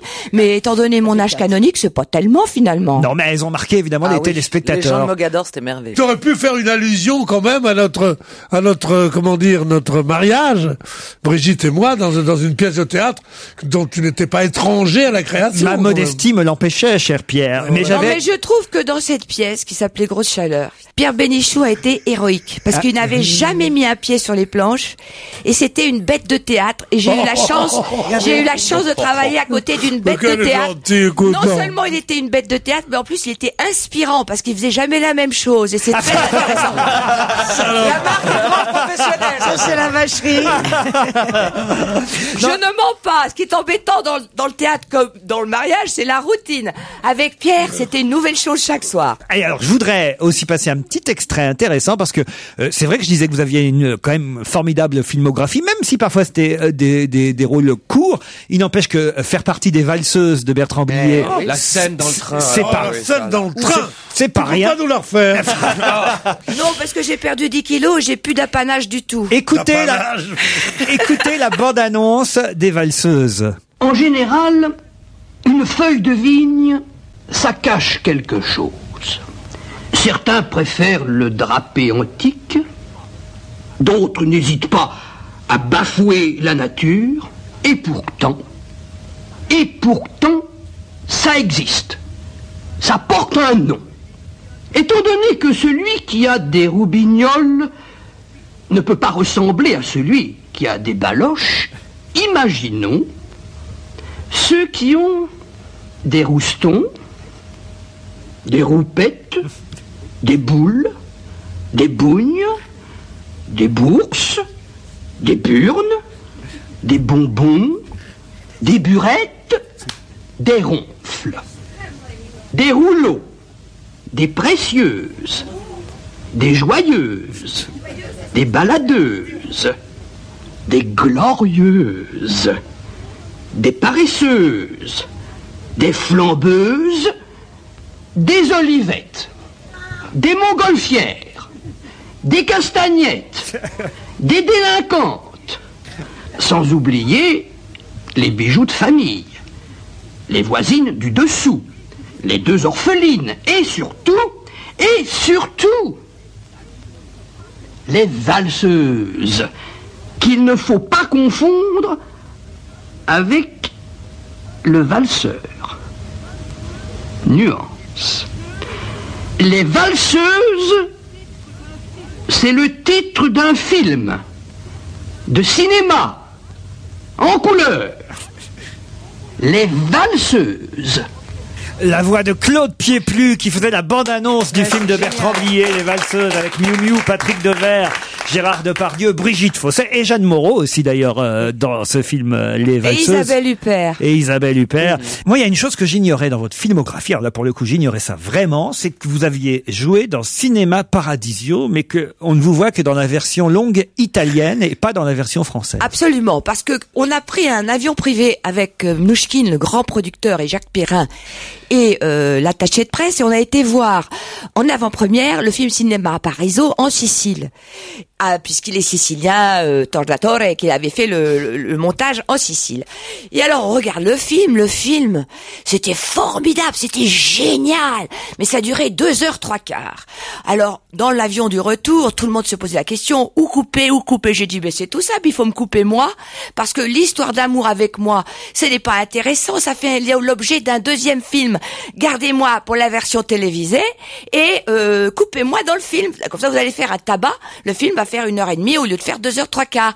Le lendemain, j'ai reçu 150 roses de Mnouchkine. Je suis restée très amie avec Tornatore, mais comme j'étais cinéphile, j'ai pas pu m'empêcher de dire la vérité. Voilà. Voilà. Et donc on vous voit dans le DVD version longue. ah ouais. Euh, C'est incroyable quand même cette histoire parce que quand même ça aurait été un film de plus dans votre Dis donc, filmographie. moi, euh, j'ai plutôt crevé. hein. Christine aurait dit, euh, Ah ouais, fait euh, crever. Générosité, il faut. Laissez l'histoire d'amour, coupez le reste. C'est pas du tout de la générosité. Moi, je préférais être dans la version longue qui est super pour la télévision. On- ça se diffuse en deux épisodes. Moi, je suis dans le deuxième épisode. C'est majestueux. Et que le film soit réussi pour Tornatore. Dans la version euh, courte de l'émission, Christine Bravo sera coupée, de toute façon. On se retrouve après la pub pour parler de la nuit de l'audience au Petit Montparnasse. On va se gêner sur Europe Laurent Ruquier. Offre soumise à condition. Et on retourne dans la loge d'honneur d'Europe 1. Retrouvez Laurent Ruquier et tous ses complices. La princesse de Salm Salm est dans notre studio. La princesse de Salm Salm, c'est le rôle que joue Brigitte Fossé au théâtre à partir du 17 septembre dans la nuit de l'audience. C'est qui cette princesse Alors Brigitte, on n'a pas vu cette pièce encore. C'est une fille de fermier, euh, enfin de- d'exploitant agricole, euh, qui était élevée par euh, sa grand-mère indienne. Et à l'âge de 15 ans, elle, elle sait déjà faire de la voltige équestre. Elle fait une fugue. Elle- Il y a un petit chapiteau euh, qui dresse euh, son petit cirque euh, à côté d'elle. Et à 15 ans, elle fuit avec l'illusionniste. Elle se retrouve dans un cabaret à Cuba où elle fait la femme au sabre en maillot à paillettes. Et le soir de ses 16 ans, son illusionniste meurt. Alors à ce moment-là, elle prend la fuite. Avec quelques dollars, elle s'échappe. Elle prend le bateau pour Washington où habite sa sœur. Et elle commence à monter à cheval tous les matins devant la Maison Blanche vers 9 heures du matin pour qu'on la voit bien, du petit déjeuner. Et puis elle rentre dans la Maison Blanche par l'intermédiaire de sa sœur, puisque leur cousin euh, très éloigné, c'est Lincoln lui-même. Et donc euh, là, elle prend d'assaut le prince de Salm Salm et elle l'épouse à l'âge de 20 ans. Elle le rejoint sur le front de la guerre de sécession. Elle ne peut pas se passer de lui, il ne peut pas se passer d'elle. Et c'est la première Bernard Kouchner de l'histoire. Elle crée de grands chalands sur les fleuves qui et les chalands suivent les combats et elle soigne les blessés. Et elle n'arrête pas de suivre son prince, qui va ensuite au Mexique suivre Maximilien de Habsbourg, qui est tué par Juarez. Elle va nous raconter la pièce. Et hein. voilà. Mais non, mais comment on peut montrer tout ça sur la petite scène du petit Montparnasse C'est Non, ça, m'aurais c'est pas l'histoire de la pièce, ça, que vous nous Non, il m'a demandé de parler de mon personnage. Bah oui, mais enfin. Ce qu'on veut savoir, c'est ce qui se passe dans la pièce euh, pour le personnage. Ah non, mais Brigitte. ce que le public préfère beaucoup découvrir dans la pièce qui va se passer, c'est te dire si avec Kerbrat, avec Guerdon, avec Chilo, avec Tirmont, on a lu des bouquins pour savoir ce qui se passe Ça, avant. c'est, ça, c'est vraiment le syndrome de tous les comédiens qui euh, ils voient la pièce par leur personnage, en fait. Hein. Tu viens de me poser la question, qui est ton personnage Oui, d'accord, mais enfin, dans la pièce, qu'est-ce qui se passe dans la nuit de l'audience, Brigitte? Qu'est-ce que c'est l'audience? Euh, bah, non, pas qu'est-ce que c'est C'est l'audience. après C'est à cette- l'audience à Europe 1, on sait ce que c'est. mais, mais- on, on, on, est- on est même les meilleurs. qu'est-ce que c'est que cette nuit de l'audience? Voilà. Et Eh ben, c'est très simple, ça se passe. Ce que je t'ai raconté là, ça, c'est Maximilien. avant. Ça, c'est avant. C'est en 1862, Ouais. 1864, 1867. Il meurt, Maximilien. Il laisse une veuve qui s'appelle Charlotte, qui est interprétée par Frédéric Tirmont, Voilà. qui est au château de Bourhout en Belgique, gardée depuis 30 ans pour euh, folie. Elle est folle. Par un, un docteur et, et, et une espèce de, de, de, de, de garde malade qui, qui lui injecte des picouses et tout ça. Et en fait, tout à coup, en 1900, les deux femmes ont exactement le même âge. Elles sont nées toutes les deux en 1820. Et en 1900, elles demandent une audience à Charlotte de Habsbourg par l'intermédiaire du roi son père Léopold II. La pièce, c'est comment ça se passe entre elles deux, 30 ans plus tard, après les événements. Ah ben là, là, la pièce franchement, commence maintenant. Là, là, franchement, là, moi, pour moi, c'est clair. C'est bon. Ça aurait été bien que tu nous fasses un résumé maintenant, Titoff. La pièce s'appelle La Nuit de l'audience, ça se joue au Petit Montparnasse, c'est une mise en scène de Patrice Kerbrat, c'est écrit par Jean-Claude Idé Jean Descartes. Qui est un historien. Un rapport avec Guy Descartes? C'est son fils. Mais en fait, euh, ils font pas le même métier. J'attendais cette précision. Ouais, c'était ça. Brigitte Fosset, Frédéric... Est-ce que je peux dire juste une chose? Oui. C'est qu'en fait, ces deux femmes vont, vont euh, essayer de, de, de se comprendre et à travers des petits des petits jeux de rôle parce que moi je vais jouer le rôle de son mari Maximilien elle va jouer le rôle de Félix mon mari donc elle, elle- je vais essayer de lui apprendre la habanera que j'ai appris à Cuba elle va essayer de la faire parler parce qu'elle a une idée derrière la tête et cette idée derrière la tête c'est le truc dramaturgique de la pièce et je peux pas en parler Alors très bien, on n'en dit pas plus. Ah non, pas plus. On peut juste dire, parce que ça c'est une précision importante, que c'est à 19h que ça se joue. Parce que si vous y allez à 20h30 ou 21h, la pièce, c'est pas sûr, mais est terminée normalement. C'est 19h du mardi au samedi. C'est bien ça Brigitte? C'est à 19h du mardi au samedi vous êtes libéré à 19h20 pour aller dîner il y a pas de problème Comment ça? Ça dure Oui. 20 minutes? Du- non, c'est- euh, pardon, je, euh, pardon. Parce que c'est- ça a l'air dense pour 20 minutes quand même. hein. N'importe quoi. Je me disais, mais c'est bizarre, une pièce qui dure 20, 20 minutes. minutes. Pierre commençait à se dire, tiens, je vais y aller.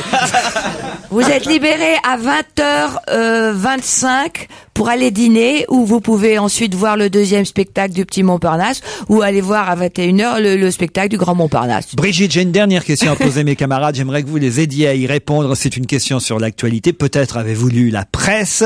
Et dans la presse, on nous parle beaucoup de euh, Christian Lapalu.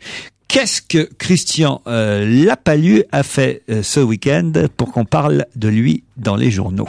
Moi je dis c'est un nom de sportif. Pas du tout. Eh Ça ben, l'ai- pu. eh ben, je l'ai pas lu, ça. Euh, c'est un homme politique. Ça, alors là, vraiment. Je l'ai pas lu, ça. Franchement, on aurait pu Oh, l'éviter. bah ouais, mais qu'est-ce que tu veux, c'est la fin. Bon, alors il a fait de l'audience. Et non, il a pas fait de l'audience. C'est euh, Brigitte qui fait la nuit de l'audience. Il a fait la nuit. Il a perdu, euh, Christian Lapalu. Je vais vous aider. Il a perdu. Face à la, fa- face à la femme de Gérard Chivardi. Il a perdu face à Madame Chivardi. On en avait parlé la semaine dernière puisqu'elle était en tête au premier Ah tour. à- elle a à- gagné à au, elle a gagné au second tour. Effectivement, cette élection cantonale avec 56,57% des voix face au socialiste Christian Lapalu. Eh ouais, du coup, c'est lui qui a payé l'apéro. Bonne réponse de Jérémy Michel. Bravo, Michalak. Arrêtez, arrêtez, ça me gêne. Non, il y a un C'est tout, truc- Michalak. Il y a un truc qu'il faut savoir pourquoi je vous en parle, c'est parce que euh, l'info m'a paru euh, tellement étonnante dans le Parisien, c'est que si Madame Chivardi s'est présentée à cette élection cantonale, vous le savez, on l'avait dit, c'est parce que Monsieur Chivardi Il n'a pas pu présenter les comptes. voilà, il a été déclaré inéligible. Inéligible. Et vous savez pourquoi il a été déclaré Non. inéligible Une toute petite somme, c'est. euh, Parce que pendant un an, il a payé de sa poche une facture d'imprimerie de 223 euros sans mentionner cette facture dans un compte de campagne. Et je trouve ça bizarre parce que d'habitude, les mecs, C'est l'inverse. Eh ben, C'est quand- la- c'est l'inverse. Quand on pense à Chirac. lui, il paye de sa poche une facture d'imprimerie et, il est déclaré Oh, c'est inéligible. pas possible, c'est c'est c'est ahurissant. Alors, je me demande si c'est possible ça. Oui, c'est possible. C'est Ouais, possible parce qu'il y a, il y a un, un- un plafond à ne pas dépasser pour une campagne électorale. D'où que viennent les fonds? La somme n'est pas en cause puisque c'est 123, 223 faux euros. En revanche, c'est exactement en minuscule l'affaire Dassault. Vous savez que Monsieur Dassault, Serge Dassault, a été invalidé à Beauvais, enfin dans l'Oise, où il, où il était, où il- dont il était député, parce qu'il avait arrosé lui alors de façon extraordinaire tout le monde. Ah, Monsieur Chivardi, il arrose ça souvent voilà. aussi.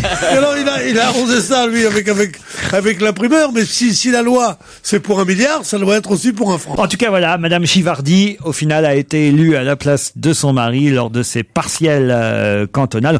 Bon, de toute façon, on peut pas l'accuser de prendre des pots de vin. Il les boit lui-même, euh, Monsieur Chivardi. Ah, C'est une bonne réponse de notre joujou euh, national qui gagne deux places pour aller applaudir Brigitte Fosset et Frédéric Tirmont dans la nuit de l'audience au Petit Montparnasse, puisque Brigitte avait accepté aujourd'hui d'être notre invitée d'honneur dans la loge d'honneur. Merci, Merci Brigitte. à vous, je voulais dire, Simplement que le numéro de téléphone pour retenir les places, c'est le 43 22 77 30 au 31 rue de la Gaîté.